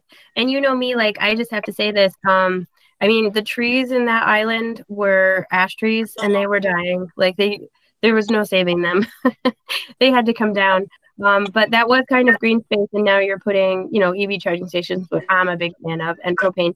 So if there's any way to soften that and make part of it green, even if it's like obviously I don't think you can probably fit trees between the charging stations, but perennials or anything you can do to bring some of the green space back to that island and break up that asphalt, I think that that's something that um you guys should look into too. Yeah, Laura, so, um, you know, just keep in mind that the entire island will not be used for concrete, so, uh, especially on the charging stations, the actual uh, concrete pad for those are minimum, uh, probably twelve inches off the asphalt, maybe fourteen. So we're not losing a considerable amount of green space on that island portion. And then on the propane, uh, we, we'll, we'll definitely do our best to try to dress it up a little bit and put a little more green space in there. And there's, uh, there's other areas on, on the property that we want to address anyway. So I'm not sure if we've gotten so far as to give you a, a landscaping plan for this project yet. But, um, we could certainly forward that once the owner has some time to, to, uh, really give it some thought.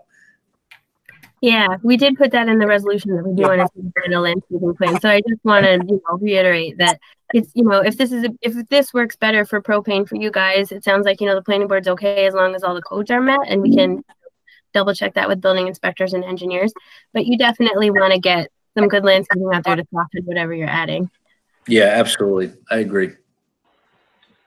Okay, all right, great. So sounds like we got an open item. Is there any other questions for the applicant or the representatives tonight? How's it coming along? Status? It's, uh, it's good. We're finally starting to make some progress, so I'm, I'm hoping the next three weeks will be a good. And uh, was an estimated uh, opening date of uh, early December? Is that what I heard? Uh, I think so. I think they want to do a soft opening. Uh, there, we, some structural issues we're working on, but, uh, other than that, uh, the majority of the repairs and, and major items have been taken care of, so we're still on schedule to start receiving shelving on the, uh, fifteenth or sixteenth of this month. So, uh, I would say, uh, you know, we'll be ready for a walkthrough, uh, maybe four weeks. Okay. Hey, thank you, Mr. Dingley. You're and welcome. Tony. Thank you. Appreciate- Appreciate you guys joining in. Thank you. All right. All All right, right, so we got an open item. We'll hear back on that before our next meeting. We appreciate that. And uh, we'll close the discussion on um, 1448 Balltown Road. All right, thanks. Uh, Moving on, 2721 Balltown Road, the Aqueduct Animal Hospital. I know uh, Mr. DiRapino, and I believe we have Mr. Ritmo also on the line tonight with us. At least he was earlier. Yep. I'm All here. right. I'm here. So I guess I'll turn it over to you, David. Okay. So uh, Alex has made it through the the zoning meeting and updated the plan basically to show all of the buildings that will be eliminated to clean up the site. And one of the other topics that was discussed uh, the past week was the green space out in the front of the building along uh, Balltown Road. And a concept that came up, which I think is worthwhile for some discussion here, would be to eliminate the the dual entrance that's currently configured there, and possibly looking at going into just a single driveway entrance and loading all of the parking onto the north side of the property, allowing the south side of the property and that area that's currently, um, I guess it's like a little bit of a landscape space on the back side of the building. Could be could be preserved and there's some mature trees over there but make it look a little bit more residential instead of having the the loop um, as you come in currently by justifying like five or six spaces over to the south side and then the other dozen or so spaces onto the north side so mr henry i know did some legwork on that with some conceptual ideas and be a lot less to maintain and probably cheaper in the long run if it was just replacing a little bit of asphalt. Can I see that picture again? Sorry, I was just popping up there. Just because this is, I mean, this is just conceptual. Clark did that. It's just showing like the pink would be taking the asphalt away, and then the green would be a new parking area. Because we were thinking if you're taking this building down already and you got to flatten out, you got to flatten out and regrade. Um, like this is such a mess when you're getting on and off Balltown Road. You could put all of the parking on this side of the building. And then in the future, if you ever needed an area to do, because um, over time, you know, once the rents start coming in and, you know, things start um, building up there, you might want to add covered parking. You know, you could kind of reserve this area over here for covered parking. Um, but our idea was because we know that, you know, there's a lot to invest in this building, is that we could conceptually do it in phases. So, like, you could you know, you could get in, work on the building, and then have a certain timeline to get, you know, the building up to snuff, and then you could have a certain timeline to work on the asphalt, so that the overall goal was to make this building look very residential. One of the reasons I think it got a use variance was because you're moving it to a more conforming use in the neighborhood, and we talked about that. So if you can get that parking away from being out front of the building, which is um, actually also in itself a pre-existing non-conforming use and tuck it along the side would be super awesome. Oof. I'm glad you drew it in green because that's exactly what it's going to cost. Yeah. Well, that's why we were thinking the phasing option because I know I talked to you about that a little bit on the site, you know, on the site um, when we were looking at it because this like this green area you've already got in your site plan. We were just talking like over time as that building evolves and becomes better and better. Yeah. I mean, part of the reason I bought this project was because there was already, or not buy, but uh, or is, is under contract, is because it has existing blacktop, which makes it more affordable than adding a massive amount. I mean, that, that that's one of the huge issues of, of, of what would make this a go or not a go. There's only so much I can do to make it.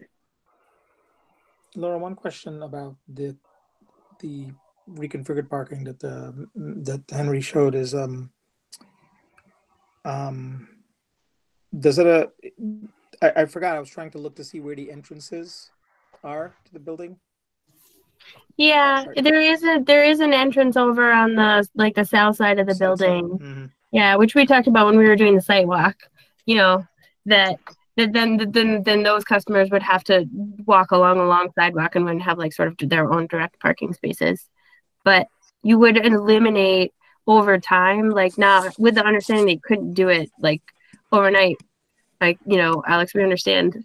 But if you're taking that time to regrade and start, you know, rather than planting a bunch of trees where you could put the future parking lot, like reserve that for future parking and then build that slowly over time through phases. And this actually came up during the, the CAC meeting we had. And I think there was even some provision initially for perhaps covered parking was, was, was in the discussion and, you know, there was no opportunity for that, but the idea came up of could we migrate towards a more residential look over a period of a couple of years as it becomes more financially um, doable um, to Mr. Ritmo.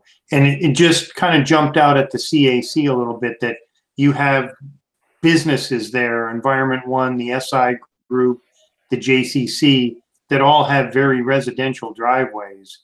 And this building, which we're attempting to migrate towards a more residential look, has a huge paved front yard. And you know, we were just kind of looking for any idea to migrate that, that's all. I like the idea of more residential look. I have two concerns. One is what is the garbage management plan? And if we do migrate to the other kind of parking, the parking scenario, would there be room for delivery trucks to do what they need to? You know, people move in, they rent a truck, but sometimes they have furniture delivered, etc. Yeah, well, I think, you know, I think uh, we all agree that there's a sea of blacktop in the front and it does not look residential. Um, and I understand your concerns, uh, Mr. Ritmo, uh, about cost. Uh, but I think uh, um, one of the things we, to get started, I think we're going to cut, cut up some of that blacktop or, or at least uh, define the in entranceway or exit, ingress, egress, right? And I think that was uh, on one of the sketches that we saw before. So reduce some of that impervious surface at a minimum to get started. Um, Yeah. think, You know, but I think what we're also saying is we've got to, you know, look at the long haul and, uh, if you're taking down those things and there's an opportunity that, you know, someday you're going to have to repave, you know, that maybe that's not the right spot to repave and to continue on this path, uh, but to migrate the parking to the more residential. So, um, you know, we want to break the bank here, but we also want to, um, uh, make this fit with the neighborhood. Uh, and that's, you know, as part of the justification, as Laura stated, for getting the, uh, uh, the, uh, use variance, um, based on it being a neighborhood type feel. Um, so those red spots, uh, Laura pulled up the drawing there, those, the red on front, I guess that's kind of in the right of way or something. Those are going to go away. Yeah, Right, yes. like, So, little- so right now the road cut, because that's the discussion I remember was that the road cut was massive. So there's that little U shape in the center, which I would turn into green area. Um, and then the two parking lots on the side where, where I drew grass, that was um, some of the neighbors had concerns of the cars parking basically on the road. So I was going to eliminate them because obviously, you know, I'm trying to make this project affordable. I'm not opposing or opposed to, you know, the grand scheme, but you know, to get my feet in the door here and and you know, try to make this thing, you know, financially work.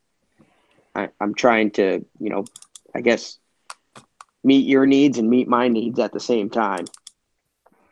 Again, I'm not opposed to the grand scheme, but you know, if we could do that, you know, a few years down the road where this thing can hopefully start paying for itself opposed to doing it right off the bat and me giving you, you know, much less of a road cut and kind of like a U-shaped driveway, you know, obviously with some parking spots.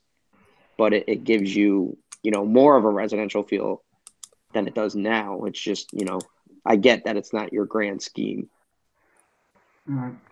Uh, we just have to think about how, how we accomplish this, whether we, uh, you know, uh, we have to have site plan approval here, right, Laura? So, um, you know, we got to think with the end in mind and whether it's a phased approach, uh, you know, years or whatever it takes. Uh, one thing we wouldn't want to see you do is, you know, obviously repave the existing one completely if it's not desirable and spend that money. We'd rather have you, you know, have the plan to, uh, to migrate if you got to do some repaving in the future, you know? Yeah. So something to think about how we would accomplish that and still uh, keep costs down so you can get you going here. Um, you know, it sounds like that's where the board's at. Um, as far as everything else goes, I mean, it's, you know, taking down those uh, kennels and outbuildings, whatever, obviously is going to help the site look, you know, fantastic. Um, uh, are, are you at a point now where um, uh, you've met whatever, um, uh, you know, you're ready to uh, go forward with the purchase? Are you waiting on planning board approvals in order to, you have contingencies or? Is it Um, okay to, is okay to ask that? Yeah, yeah, you can ask that. I mean, we're we're we're pretty close. Yeah. Um, I was kind of waiting to see what happens with this one. Um, and then we are going to move forward, and you know, if not, we we're going to drag it on. Did you ever get an uh, answer regarding the, um, I think there was a question you had regarding whether it needed to be sprinklered? So what I did is I talked to my architect because um, that's I, I forget who wrote the email, but I think it was the town building inspector, and he was going to leave it up to her because she's the design professional. So what me and her discussed was that we would double layer um, the second floor to the first or the second floor to the first floor ceiling in the first floor of 5 eighths fire rock and then spray foam um, in between the floor joists and that would make it so that we wouldn't need any sprinklers. Okay, all right. So what whatever kind of cost, you know, again, I know we're, you're, we're sensitive and you're sensitive to the cost. Whatever things are hidden out there, I'm just, I'm addressing this to the board or to Laura. Uh, besides parking, uh, taking down the old structures, um, as far as a site plan, I mean, obviously there's some tree damage now out there as a result of probably the last uh, windstorm we had. With Um, yeah, Dr. Pike's taking care of that. But, you know, is there any other things that we could um, have a discussion with Mr. Ritmo regarding uh, things to expect from us? I can't think of any. Landscaping? Yeah. Um, I'm just looking for help here. There will be landscaping. No? So it sounds like the biggest hurdle is, is the parking, is what I'm hearing then. And, and So, making so is, sure it, that, is, we- is it sufficient in that so that he can move ahead that th- that he knows that Mr. Whitmore knows what- at least what the intent of the planning uh, department, you know, recommendation is concerning this. Don't make any permanent uh, changes to that side where it could eventually become a more residential look parking. And it's one of those things that it, you know, we have some way of revisiting it. You know, if he's able to um you know, to make this something he can go forward with and make it profitable. We could memorialize that in a condition in the resolution for site plan approval. Like we could say, you know, um, the planning board is encouraging over time the parking to be removed from the front of the building and put on the side. And um, so like before, you know, before investing in a, a new parking lot, you know, the applicant shall, you know, work with the planning board to put the parking lot on the other side of the building. You can memorialize that in a condition that way, like it's explored and like the intent for the future of the property is there. Um, and the first step could be the the curb and the removing of those two parking spaces. The CAC did say that they would like to see landscaping along the parking, a little bit more landscaping along the parking lot as is adjacent to the um, actually the vacant residential lot. Um, so maybe just a little bit more landscaping over there, and then a condition that you know we would like to see the parking over time grow behind the building rather than in front. Well, thank you, Mr. Khan and Laura. Mr. Ritmo, one thing you have to think about then is the future. And, and, uh, you know, there's a recommendation about the parking be, uh, migrated sooner or later over to the northern side of the building. So you got to think about, you know, what the future holds for the site. I know you had some other thoughts that maybe you might want to expand someday or so on and so forth, but just think about that. Um, and, uh, and uh, think about the proposal about migrating the park there and make sure you're okay. If you have any comments, you know, I don't want to hit you tonight, but uh, think about it and, you know, get back to uh, the project leads or the planning department or myself uh, with any concerns you have. What last thing we want to do is come up with a resolution for uh, approval that's going to cause you uh, financial distress and maybe not make the project work. That's not our intent. Our intent is to have a successful project and you to have a successful uh, business there with the apartments, but also have something that fits with the neighborhood and uh, and with the surroundings. And that's that's all we're trying to do. So whatever you can do to help us, uh, we'd appreciate it. Yeah, yeah, no, I and again, I I'm not opposed to any of the suggestions. It's just you know if you guys can work with me, I'd I'd, I'd be willing to work with you. It's just you know we're in this together, kind of. Yep, no, we, we appreciate that. All right, what, what do we have left to do right now, uh, on this project, Laura, or, uh, uh, let's see, Dave? Is it pretty much, uh, uh, getting some more formal, uh, documents, uh, you know, uh, you know, engineered drawings or, you know, marked up drawings that are, uh, of quality? I mean, wh- wh- where are we at? Well, I mean, technically, this is just a renovation to the existing building with the removal of a bunch of outbuildings, right? Right. Is, is there, I mean, normally we would see, you know, like if it was a, a new apartment building, we would see the floor plans and the elevations, but Yeah. it's really a remodel. Right. Well, it's a remodel, but it is again a use variance, so it's a little bit different Mhm. there, right? How about uh, like lighting? You know, do we need to be concerned about lighting? Um, you, know, you're gonna, Mr. Ritmo, are you going to be adding any lighting in the parking lot or uh, around the building perimeter that might, in, in, you know, encroach on the, the neighbors over on Schraber? I mean, that's always our concern. Obviously, is that we Yeah. respectful to the neighbors, right? The only lighting I plan on adding is um just some coach lighting above each entryway. Yeah, right. Um, Mr. Henry, I know that you, I think you had that sketch, I believe it was you. Um, have you shared that with Mr. Ritmo? Does he have a copy of that? No, no, that, that, and that was just pure conceptual, um, you know, move it towards something that looks somewhat residential. That was not meant to be the design. It was just Yeah. meant to be, you know, something a little more residential. Yeah, and, and I understand that, and we appreciate your help there. Um, I, I know I do. But maybe you could, uh, make sure, uh, Sure. Mr. Ritmo has that, so he can at least think about it and evaluate it, okay?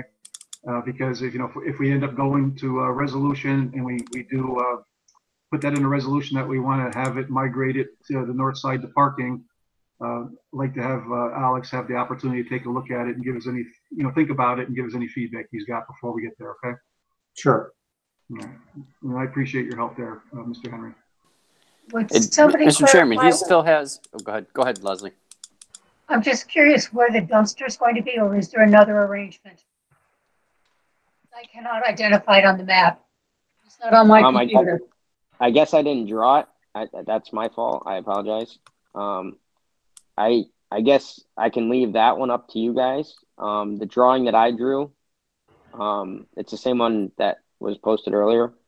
Um, I can either put it on the north side at the very end, basically where I'm taking down the existing kennels, or if you'd like, I could put it on the south side, um, back towards the building. Well. Thank you, Laura. I, I, I guess we're saying we probably don't want it on the south side for the future, right? Yeah, Yeah. so I mean, if you wanted me to, I, I, I wouldn't be opposed to, um, you know, putting it on the north side, uh, right, basically at the end of that red line and, and planting some shrubbery around it or something like that, dressing it up so it doesn't look so terrible. And is that the plan for a, uh, a dumpster for the residents there? Yeah, unless you guys would rather me go to trash cans, but I'd, I'd rather not do that. Yeah, it's whatever you, uh, you know, you, uh, ask for, I guess, or recommend, right? So, Yeah, I mean, a dumpster would, I think, cause a lot less, um, you know, because obviously we're gonna have to roll the, the garbage cans out to Balltown Road, so I think a dumpster would be the best bet. yeah, And that was another reason of, of leaving that U shape in the front because you don't want a garbage truck, you know, backing onto Balltown Road. You'd rather give them a little, you know, room to turn around. It does appear, according to. why I um, raised it. On, um, on Google Images, it looks like there's a dumpster in that location currently, um, as Aqueduct Animal Hospital, or at least was when Aqueduct was, was there. yeah. Mr. Ritmo, um, do you plan on putting any sort of a signage up, or were you just gonna have, um, designated by the, the street number? Um, I was gonna put some signage in that green area U-turn, but we discussed, I think, in like the very first meeting that that's actually an easement, and I most likely wouldn't be able to um, put signage up. So, you know, putting a number on the building is fine with me. It'd be cool to have a sign, but you know, it, that's not something that's gonna make or break me. I guess that would be uh up to you guys whether you would want to allow it or not. If I had to go for a, a variance or something like that, then no. How about uh, mail delivery? Mail delivery, there's going to be a um. A, oh, geez, why can't I think of it right now? It's basically just going to be one of those big square boxes, you know, towards the building. Uh, for those kinds of things that you, you would mark up the drawing and show us where the dumpster is going to be, where the mail delivery is, you know. You know, Okay. th- th- Those should all be marked up on there, you know, so we understand. Yeah. David, you had something to say? I cut you off, Mr. Giarpino? Actually, Miss Shenfield uh, brought up the signage.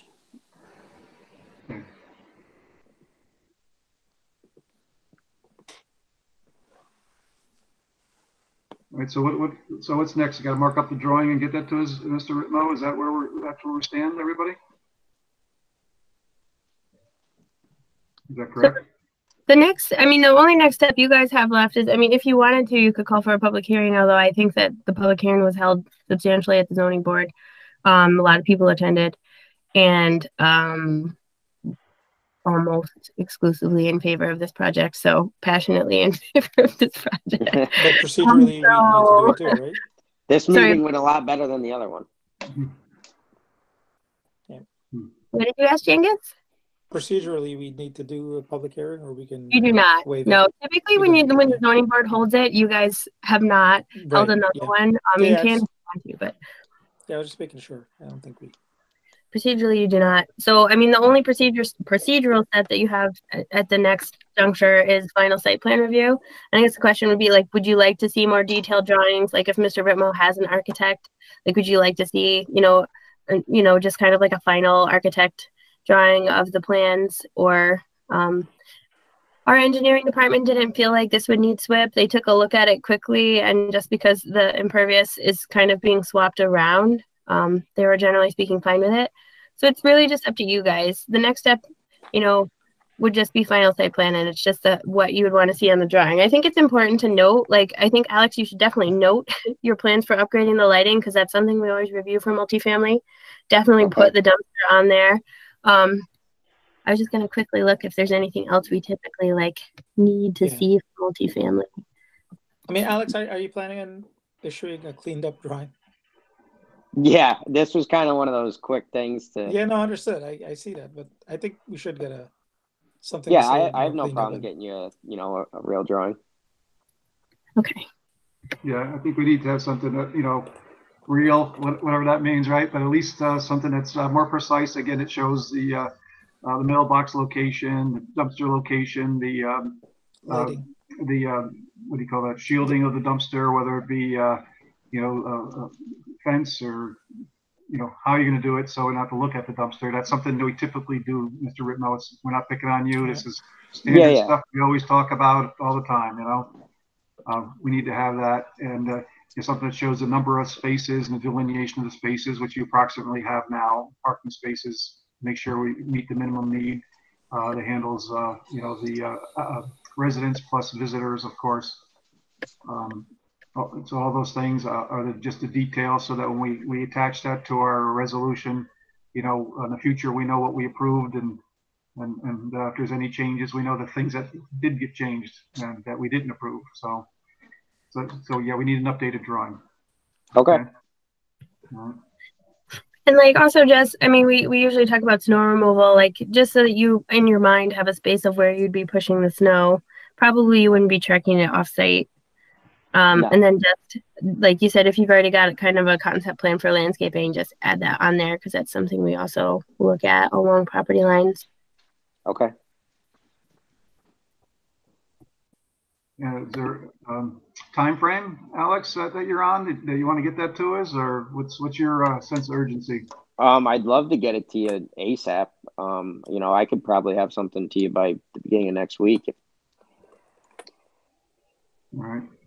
Do we? Uh, it sounds like uh, now uh, I'll defer to Mr. Diarpino. Do we want to make sure we get that first and take a look at it before we call for a final uh, resolution? Do we want to call for a tentative resolution uh, and then pull it if it is inadequate what we receive? What do you think? I think we can do the tentative resolution. Um, they seem to be pretty straightforward items that he can be adding to this. Okay. And with the cleaned up cleaned up drawing if he can turn around within a week and we could look at it um, between us and the board via email. I'm I'm comfortable with that. Okay. Does anybody have any concerns on the board with that? Okay, uh, Mr. Ripno, we're- we're gonna have a tentative resolution for the next meeting. If you could get that drawing in about a week to us, we'll have some time to take a look at it, make sure it's adequate to go forward with the resolution. That'll help you along. Uh, Yeah. mo- And most likely there will be, in fact, it sounds like there will be a condition that states say, we understand uh, the constraints now, but in the future, uh, you know, we strongly suggest that, uh, you know, the parking uh, be migrated to the north side of the building.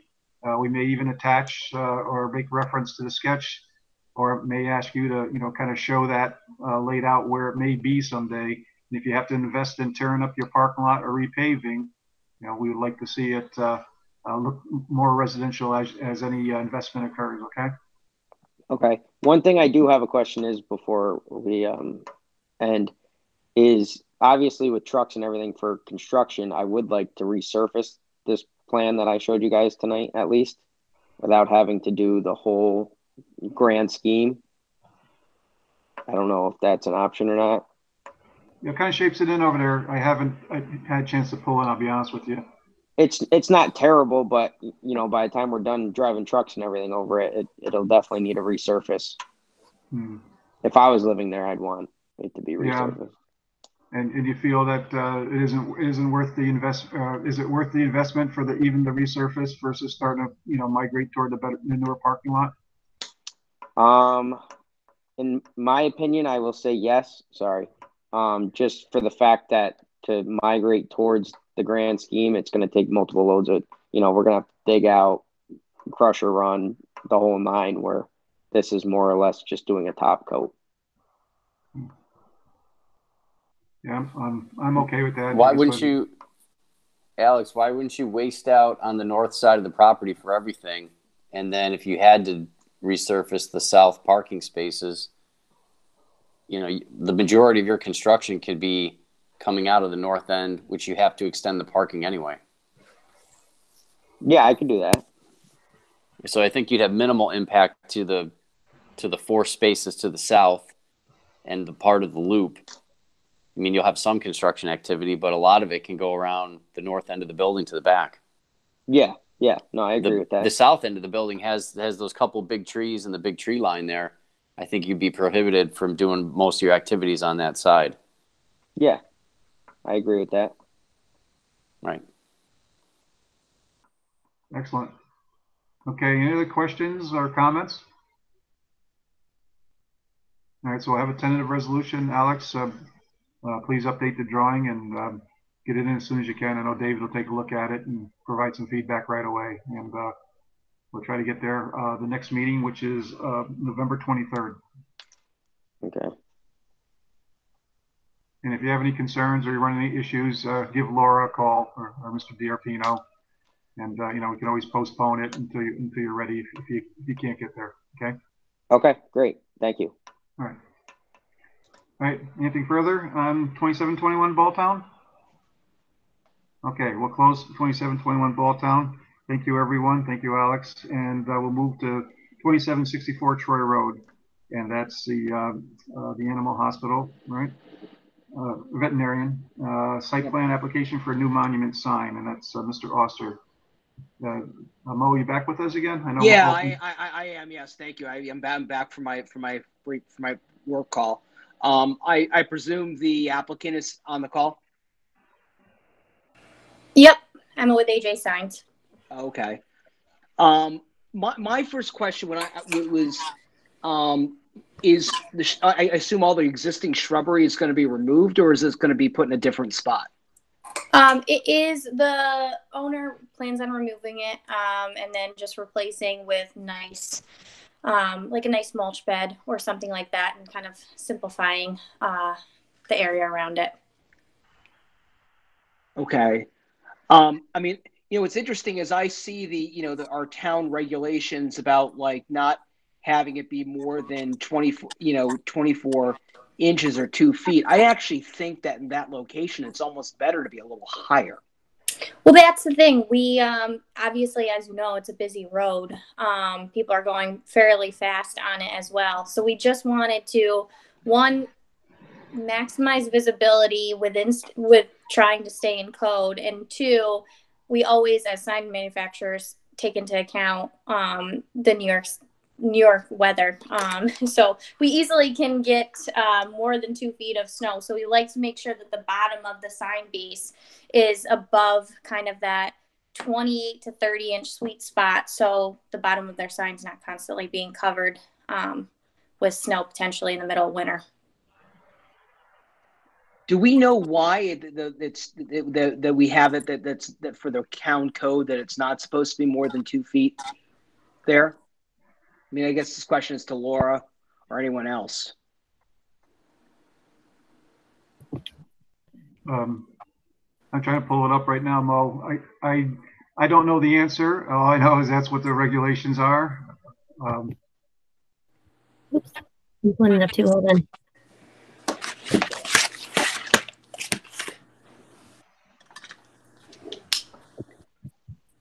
Trying to scroll through the uh, packet here to get to the correct page. It's a little slow. There we go. All right.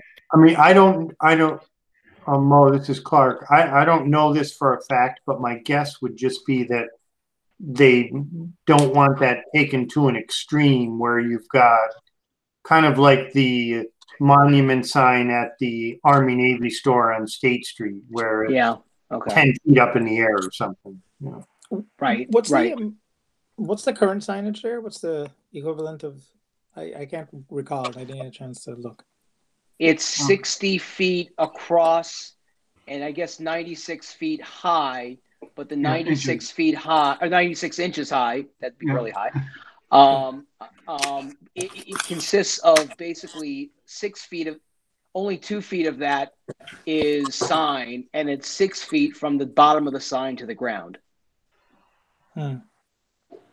Yeah, it's in the, it's in the packet, uh, right at the end, pages, Yeah. uh, 46, 47, 48. Um, you know, I, I guess I'll give you my, my input is, uh, the only, the only concern I had was because it's not open underneath is whether, uh, it impacts any visibility pulling in or off the site. I guess the answer is no to that. Would somebody just validate that, and maybe the sign company? Um, there should be absolutely no uh, obstruction of view at all. The sign set back far enough where somebody can easily pull past it and see in both directions pulling out. Yeah, okay, thank you. Because basically the uh, proposed sign, you know, is, you know, as far as the area is compliant, the height is compliant. Hmm. The bottom line is just the, the bottom part, uh, Bottom. uh, is, it's, uh, it was, a- it's only a few inches difference. So my take, uh, Mr. Oster, was that, uh, seems re- like a reasonable request, uh, for an improvement, uh, with minimal impact, if any at all. Yeah, I, I, I'm with I, I'm with you. I, I mean, I, I actually, to me, the only thing I noticed was that you had all this shrubbery around the existing sign that you would have to have some plan for you do you know, you know do, doing. I think you need a I think you need some kind of reasonably broad sign so you could see it as you're driving down Troy-Schenectady Road because you're going at a higher speed, so you need to have something that's a little more visible. Okay. So I thought I thought this seemed reasonable. Yeah. One of the things I, I noted down is lighting. Is there any current lighting on the, the sign now? And, and is there anything proposed? There, in place is um, ground lighting. I don't know. Honestly, that sign is very old. I don't know if it does turn on, quite frankly, at night or not. Um, but the plan is uh, to refurbish or just swap out those lights so at night it illuminates soft and nicely for people to be able to identify um, the property and the location to turn in. Okay. 'Cause I, I don't think that was uh, shown the lighting on the um, on the application or any of the drawings. Um, but it's pre-existing, is what you're saying. Um, might just need to be fixed. Any concerns, Laura, from the planning department as far as lighting goes? Is any um, if it is externally lit? externally lit um we don't typically have as many problems except um if, i guess just when they're fixing the bulbs and this is just something that can be easily adjusted if for whatever reason the bulb is kind of facing towards traffic Um, sometimes that bothers people when they're driving, and that's just an externally lit issue. Sometimes we actually like internally a little bit better because they like glow. but as long as um, the applicant works with us to make sure that the light bulb is like shining down and not into the eyes of oncoming traffic at night, um, externally lit is good. Um, all the lighting is directed in one space and doesn't typically cause any kind of light pollution issues to the neighbors. Okay. And then you and then what time does it close? What time does the vet close? I mean, I, there's probably some overlap with darkness based based upon the time of the year, but Honestly, I'm not sure off the top of my head Okay. the exact um, hours of operation. I imagine it's probably something like 4:30 or 5 o'clock at night. They might have an extended um, a day where they have extended hours, but it's they're certainly not seeing patients until nine o'clock at night. yeah. So very there will be very few times when someone's be looking for it during the dark. Correct. But it, but if it's softly lit, again, it's just softly lit. Uh, I guess it doesn't really make a difference. It's a good uh, marker and it's uh, advertising, I guess, as long as it's you know not intrusive to the uh, the neighborhood or to the traffic, right? It's just a statement, I guess. Is there any concerns about uh, hours of operation? I don't think we have any concerns now, right? So I don't think we should I have just any. looked on, on their website too, just for our reference, and it doesn't look like they're open beyond five PM any nights of the week. And I'll just comment, I think the sign is a great improvement. I grew Yeah. up in this town. I know where the place is. Still, I had a hard time finding it. Yeah. This sign just, current sign just doesn't do it. It's definitely more notice. It, it's definitely yes. I mean, and, and if you're and, and and like and like Miss Gold said, I mean, if you're you don't know where it is, it- it's it's not necessarily easiest thing to spot because the even though the sign is high currently, it's not there's not that much there, and there's definitely seems to be more substance to this sign. Yeah, yeah, especially with all the uh, uh, vegetation there, kind of distracts the eye a little bit, you know? Yeah. Okay, Well- so do we, Need... A lot of the cars are taller than they used to be. A lot of the vehicles are taller. And it makes it harder to see things in the distance. Something that shows up better in the first place is going to be easier to spot. Okay. all right, so it sounds like we're all pretty good with the, the uh, proposal. Um, we need a resolution, Laura, for this? Is this a, considered a site plan change, or is this just a, uh, was this just a discussion item for feedback from the board? Um, if you guys want to move forward with the slight variations to code, we should probably do a resolution. It's a non-conforming use, but you want to memorialize that. You know, if if you know, if if they want the two weeks, they could they could bring it back down. But I I feel like if you know you guys don't mind waiting the two weeks, we had to get that discussion. Um, but it would need a resolution. All right. Yeah, that's probably the right way to go because, like you said, since it is two feet or whatever, so many inches different, uh, by having a resolution, you know, that that's good for us for uh, future applicants to make sure we, uh, you know, we have justification why and so on and so forth. So why don't we have a resolution for the next meeting, if that's okay, Mr. Oster, and with the board uh, approving the sign as proposed, um, and uh, Yep. we can bring this to closure. Yeah. Does that sound good? Yes.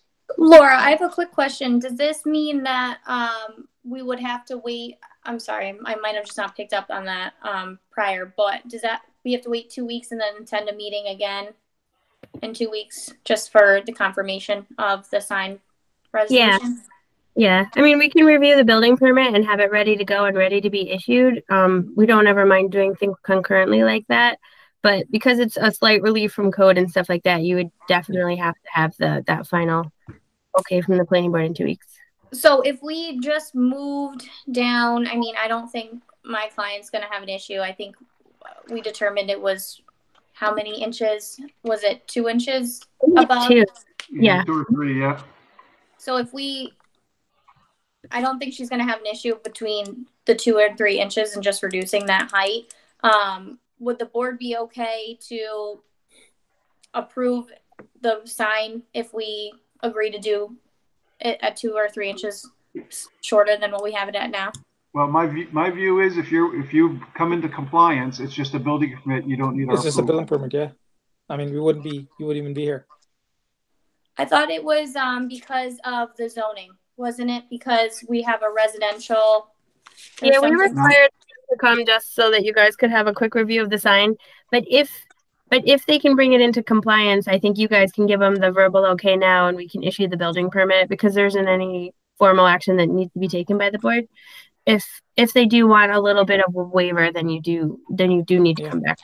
Okay, yeah, I think that's what we'll propose to the client only because they're going to take ownership and kind of kind of um, convert the the ownership over fairly quickly. Um, and I think the difference between the two weeks, just for them opening and having a sign versus not, will make a difference.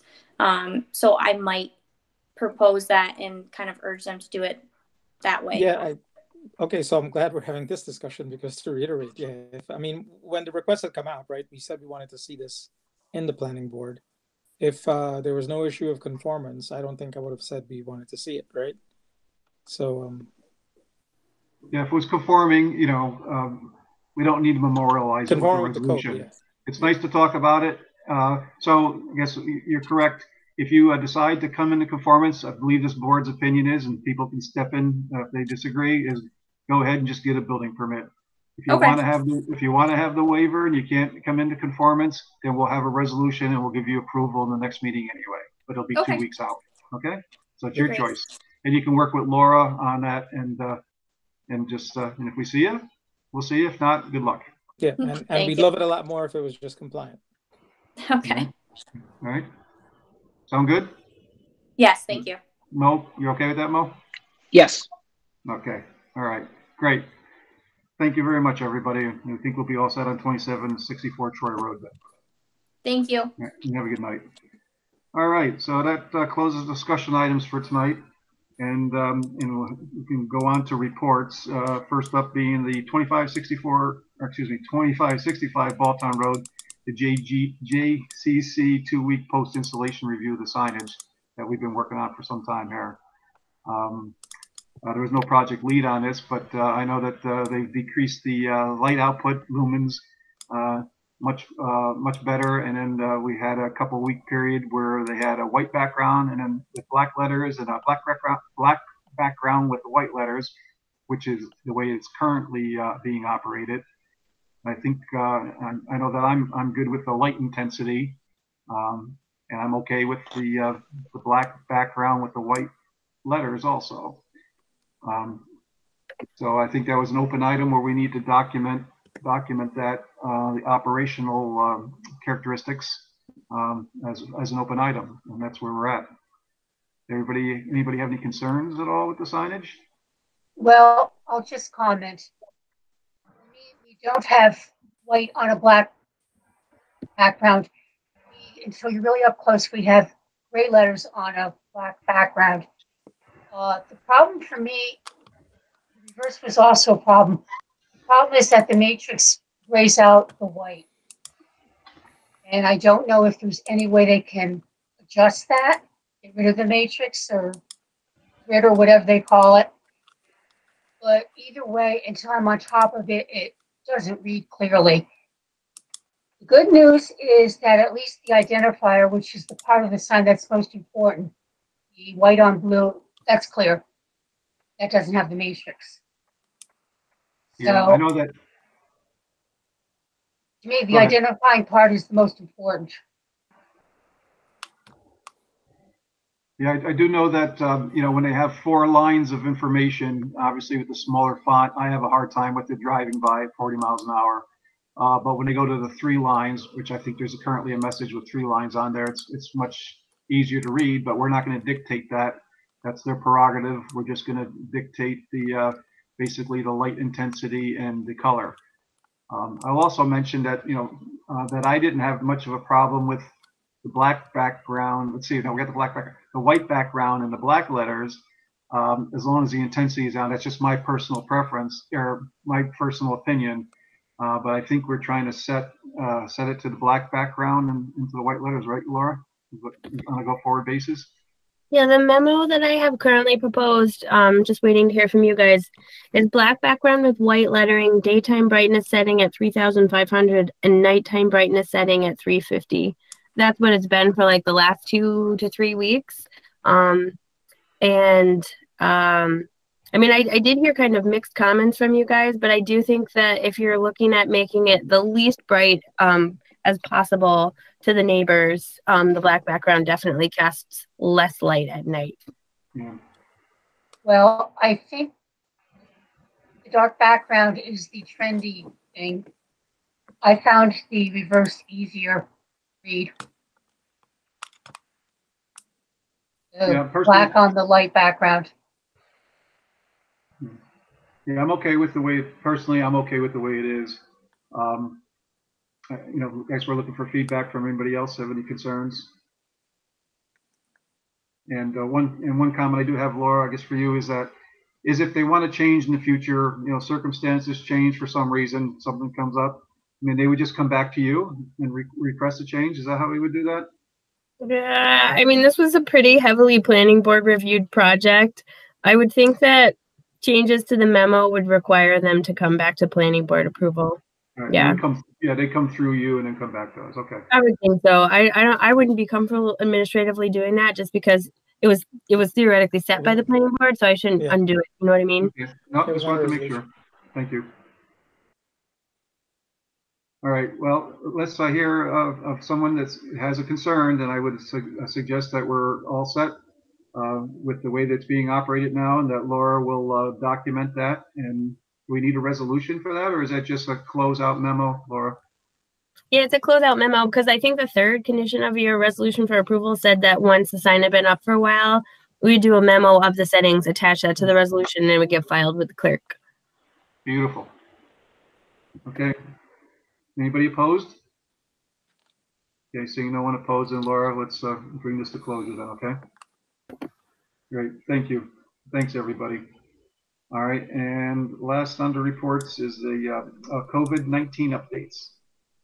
Yeah, so um, I just wanted to let everybody know, like at one of the last town board meetings, the supervisor said, um, just because of the complications that come from the hybrid meetings, in-person meetings, that all meetings besides the town board were going to continue um, in virtual, in the virtual format. And then we discussed it at Economic Development Committee.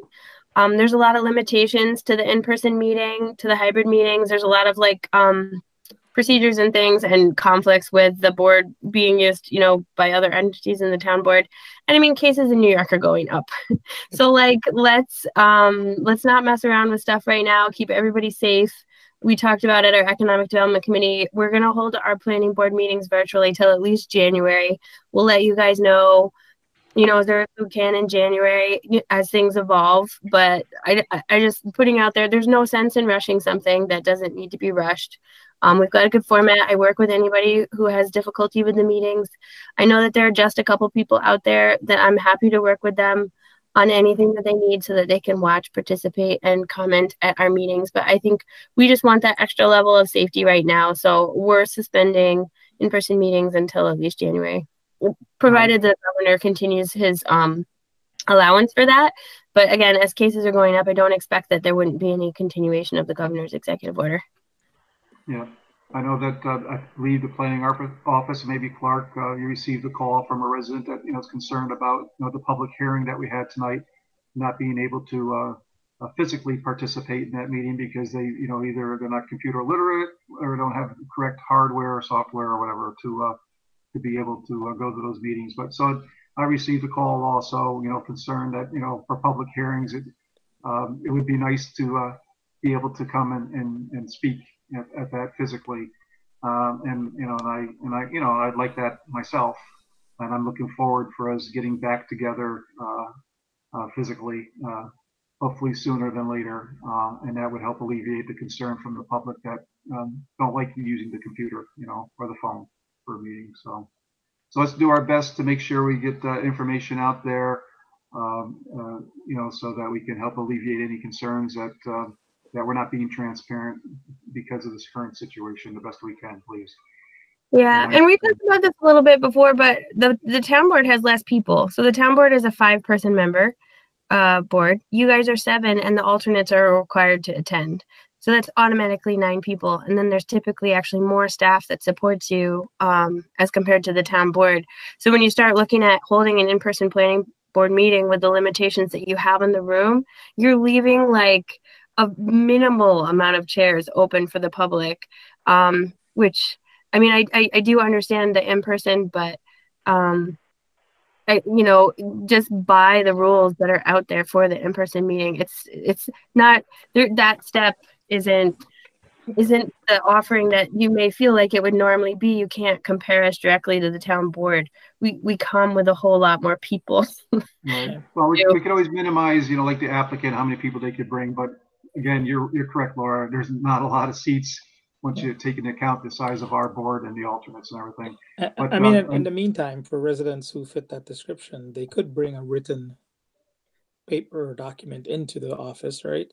They'd have to come one way or the other in person. we always like when we hear those concerns too we always reach out and say listen like you know we'll wear our masks and set the computer up for you like bring it here bring it there we can make these things work for you we're really happy to try and work with any level of technology. And you know some people are just uncomfortable with that and really just want to go back to meeting in person. And like I, kevin says like we would love to see that. But like right now with the risks out there there isn't we bring a lot more people into a room. Is not a really good comparison. So i think that it's just for now we're just going to do the safest thing for everybody and um, continue to do all that outreach and continue to reach um, as many people as we possibly can um, publicly and with as much clarity as we can but keeping people safe Right, and, and again, I'll just say, Laura, I know you're always willing to help. Um, and so anybody that's watching this video on YouTube, uh, uh, meet, you know, follow up is contact Laura. She'd be glad to help you, or I'd be glad to help. You can, you know, even if you don't have a computer, again, you can call in on the phone. You don't have to write a long letter. You don't have to send an email. You can call in on the phone. Just reach out to the planning office and we'll make sure that you get the phone number and you have that opportunity. Okay? All right. Thank you, Laura. Anything else on uh, COVID-19 at this time? uh, no nope thank you get it over for all with. that you Let's get it And over your with, right? Yeah. yeah it's All right. always a challenging situation so we appreciate how patient you guys are Yeah. All right, so uh, that's it for reports, um, and we'll go on to commission business. If you have any questions for Laura, we can bring those up during uh, your opportunity during commission business. So we'll start with uh, Mr. Oster. You have anything for us tonight? I do not. Okay. Mr. D'Arpino, Nothing tonight. Mr. McPartlin? Nothing from me. Mr. Khan. Um, just just briefly, and I mean, you know, I typically bring it up, and I don't know where we always end up with it, but given some of those letters that came in on the Broken Inn restaurant, again, our distance requirement for public hearings, right? We we ever so often hear that people who, I mean, Via Del Mar, yeah, I can see it's still quote unquote far away, but it's also close enough. So I don't know how we ever want to do that, right? Um, do we formally want to increase that or not, or? I feel it'll be remiss if I don't just at least bring that up for discussion whenever it pops up.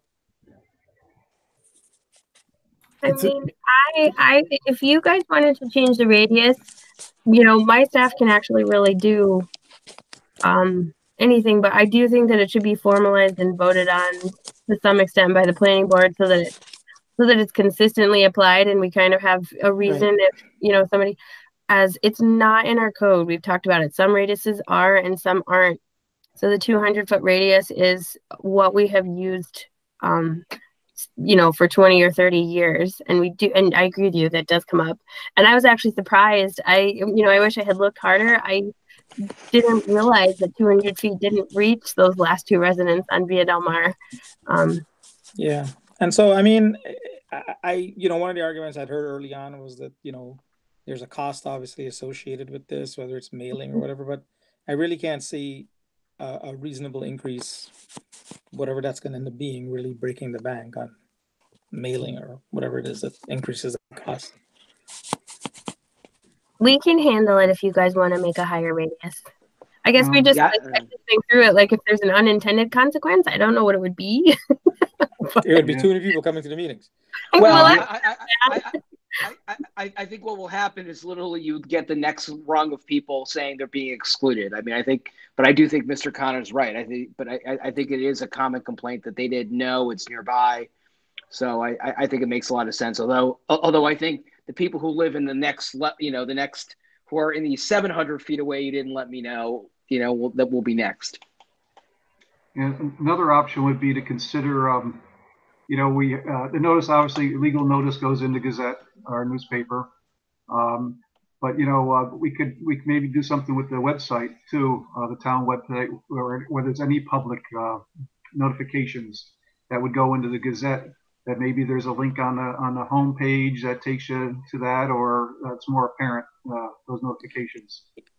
That- yeah or or right i mean definitely or, or we you know I, I know this, this is probably not the most desirable solution but we maybe for certain circumstances like specifically this restaurant's location we do then give the planning department some leeway to make a judgment right so that when Mhm. you actually look at it and see where the radius is and there's two houses that really look like they should be there but they're excluded because they're 10 feet away Yeah. I know Yeah, that's I think that least would be a desirable question for because we legal want counsel, something that's though, about- consistent. However, That might be a question same- for legal counsel. Yeah, No, no, I think that's a very scary proposition. Understood. And the only reason I would say because at my old job, we actually got a lawsuit over how we noticed a site plan. Um, because they wanted to make sure that procedures were consistent, which is why I would want like some kind of a formal documentation of the procedures changing. And no, I agree with you. It makes perfect logistical sense to look at that and be like, oh, the last two people in Via Del Mar are, aren't on here. Um, I, I remember like like the lawsuit was literally like who got drawn in and who got drawn out, and which is why like we really like to rely on just that 200 feet and not a judgment call on who Yeah, well, be. yeah, yeah. Well, but the basis would, I mean, anyway, we don't have to belabor it, but I've just raised it again, right? The basis would be just it's 200 feet, and then an additional that's at the discretion of the planning department. Oh, just add. Yeah, yeah, yeah, yeah, yeah. yeah. So it's it's a minimum of 200 feet with a discretionary piece. Does the town absorb the cost for mailing the notices for public hearings? Um, well, theoretically, any public hearing that we call has a site plan application or subdivision fee associated with it. And, you know, everybody's always like, oh, our fees are, they're not very high, but they do cover um, public hearing notices and mailouts. They probably don't fully cover staff time, but technically, like, you know, they would definitely be covering mailouts and stuff like that. I had a friend recently in a different district in a different state who referenced that she was, you know, spending $150 because their town requirement was they had to physically prepare the public notices, bring them to the town, and then the town sends them out, but it's all on on her. So Colonie requires the developer to prepare the a public hearing notice, gets it approved and post it door to door. They require that it actually gets posted door to door by the developer in a certain radius. Hmm. Wow. Anyway, I mean, we we see this complaint ever so often that I always remember that we have this discussion every single time. Yeah, if yeah, if it makes sense to update our procedures so that we can help. I like to do those things. Yeah. Yeah, if there's other models out there, I guess we should, you know, know what the other models are, like you said, town of Colonie or whatever. I know you've got enough work to do, the planning department right now, but that'd be nice to know. Yeah, maybe maybe if not the next meeting, maybe next meeting or December meeting, we could just put together just a couple references of what the surrounding towns do and see if we want to like kind of formally move to a slightly higher radius or a slightly different procedure so that there would be more more notification. Yeah, it'd be nice if they had the, the procedure could uh, alleviate some work in the planning office by having developers do it at- at their expense and their time. So, I'm like I'm like OCD though. I I, I like to actually know what the notice says, put it in the mail. Yeah, I mean, I think the public looks at us as the representative board as actually having that responsibility. yeah, you'd still get a copy. Yeah, yeah, yeah. True. Yeah. And I mean, sometimes like the mail, it comes back to us. So like we have a folder of, you know, when it bounces back. We're just gonna find public notices dumped in a trash can. Mm. Okay. Anything else, Mr. Khan? No, I'm sorry. That's all. Thanks. No, no, thank you. How about Mr. Laflamme? Uh, nope, nothing to add. Okay. And Ms. Gold? As a public administrator, retired though I may be, I would be very, very careful about going to a measure where somebody's got that kind of discretion because it's going to look arbitrary and or capricious to those on the other side. Uh, and I just would not want to see the town exposed to unnecessary lawsuits or something like that. I think we're better off with a rule that's consistently applied. Aside from that, I have a question. Um, normally, early winter, well, sometime January, February, there's like a training conference for planning and all of that. Uh, you know if they're going to do anything virtually or where does the whole training scenario stand? I've been getting emails, uh, Planning Federation, a couple different, uh, uh, email lists where the webinars have been the way to go. I, I'm behind. I'm expecting probably I'm going to be doing some training in December to get caught up, but I don't think there's any other option right now, right? Unless you go to uh, New York State Department of State, I believe has training materials also on their website, um, or you sign up for some of these webinars, you know. Yeah, all I in person but- suspended. You're gonna have to do it virtually this year. Or in the spirit of SATs and Regents, maybe we just waive our training requirement for 2020. I, you know, I mean, I wonder if the governor will even come out with something. It probably wouldn't be the end of the world. Although there are a lot of good webinars coming out from like CDTC. I can, I've been meaning to send you guys a list of them. Yeah. And most of them are free, Laura. Is that is that true statement? I think they're like ten dollars, but I would pay for you guys. Okay, keep an eye out, and if I if I get some emails, I'll forward it forward it to everybody. Okay, if you're not signed up for them. All right, and that was Ms. Gold. Anything else, Ms. Gold? No, thank you. Okay, thank you. And Ms. Shenfield. Last but not least. Nope. Nothing for me. Okay.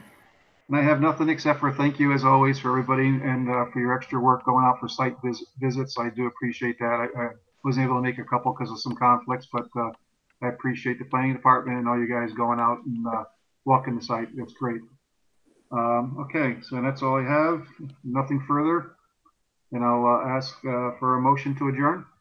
Motion to adjourn by Mr. Khan and seconded by second. Wait, wait to see hand. Ah, Leslie, there's a hand. Okay, seconded by Leslie. So we have uh, all those in favor signify by saying aye. Aye. Aye. Anybody opposed? Okay, hearing no one opposed, we'll adjourn uh, the 11-9-2020 meeting at 9:28 PM. Thank you, everybody, and have a Thank you, great everyone. evening. Take care. Thank you. Good night. Good night.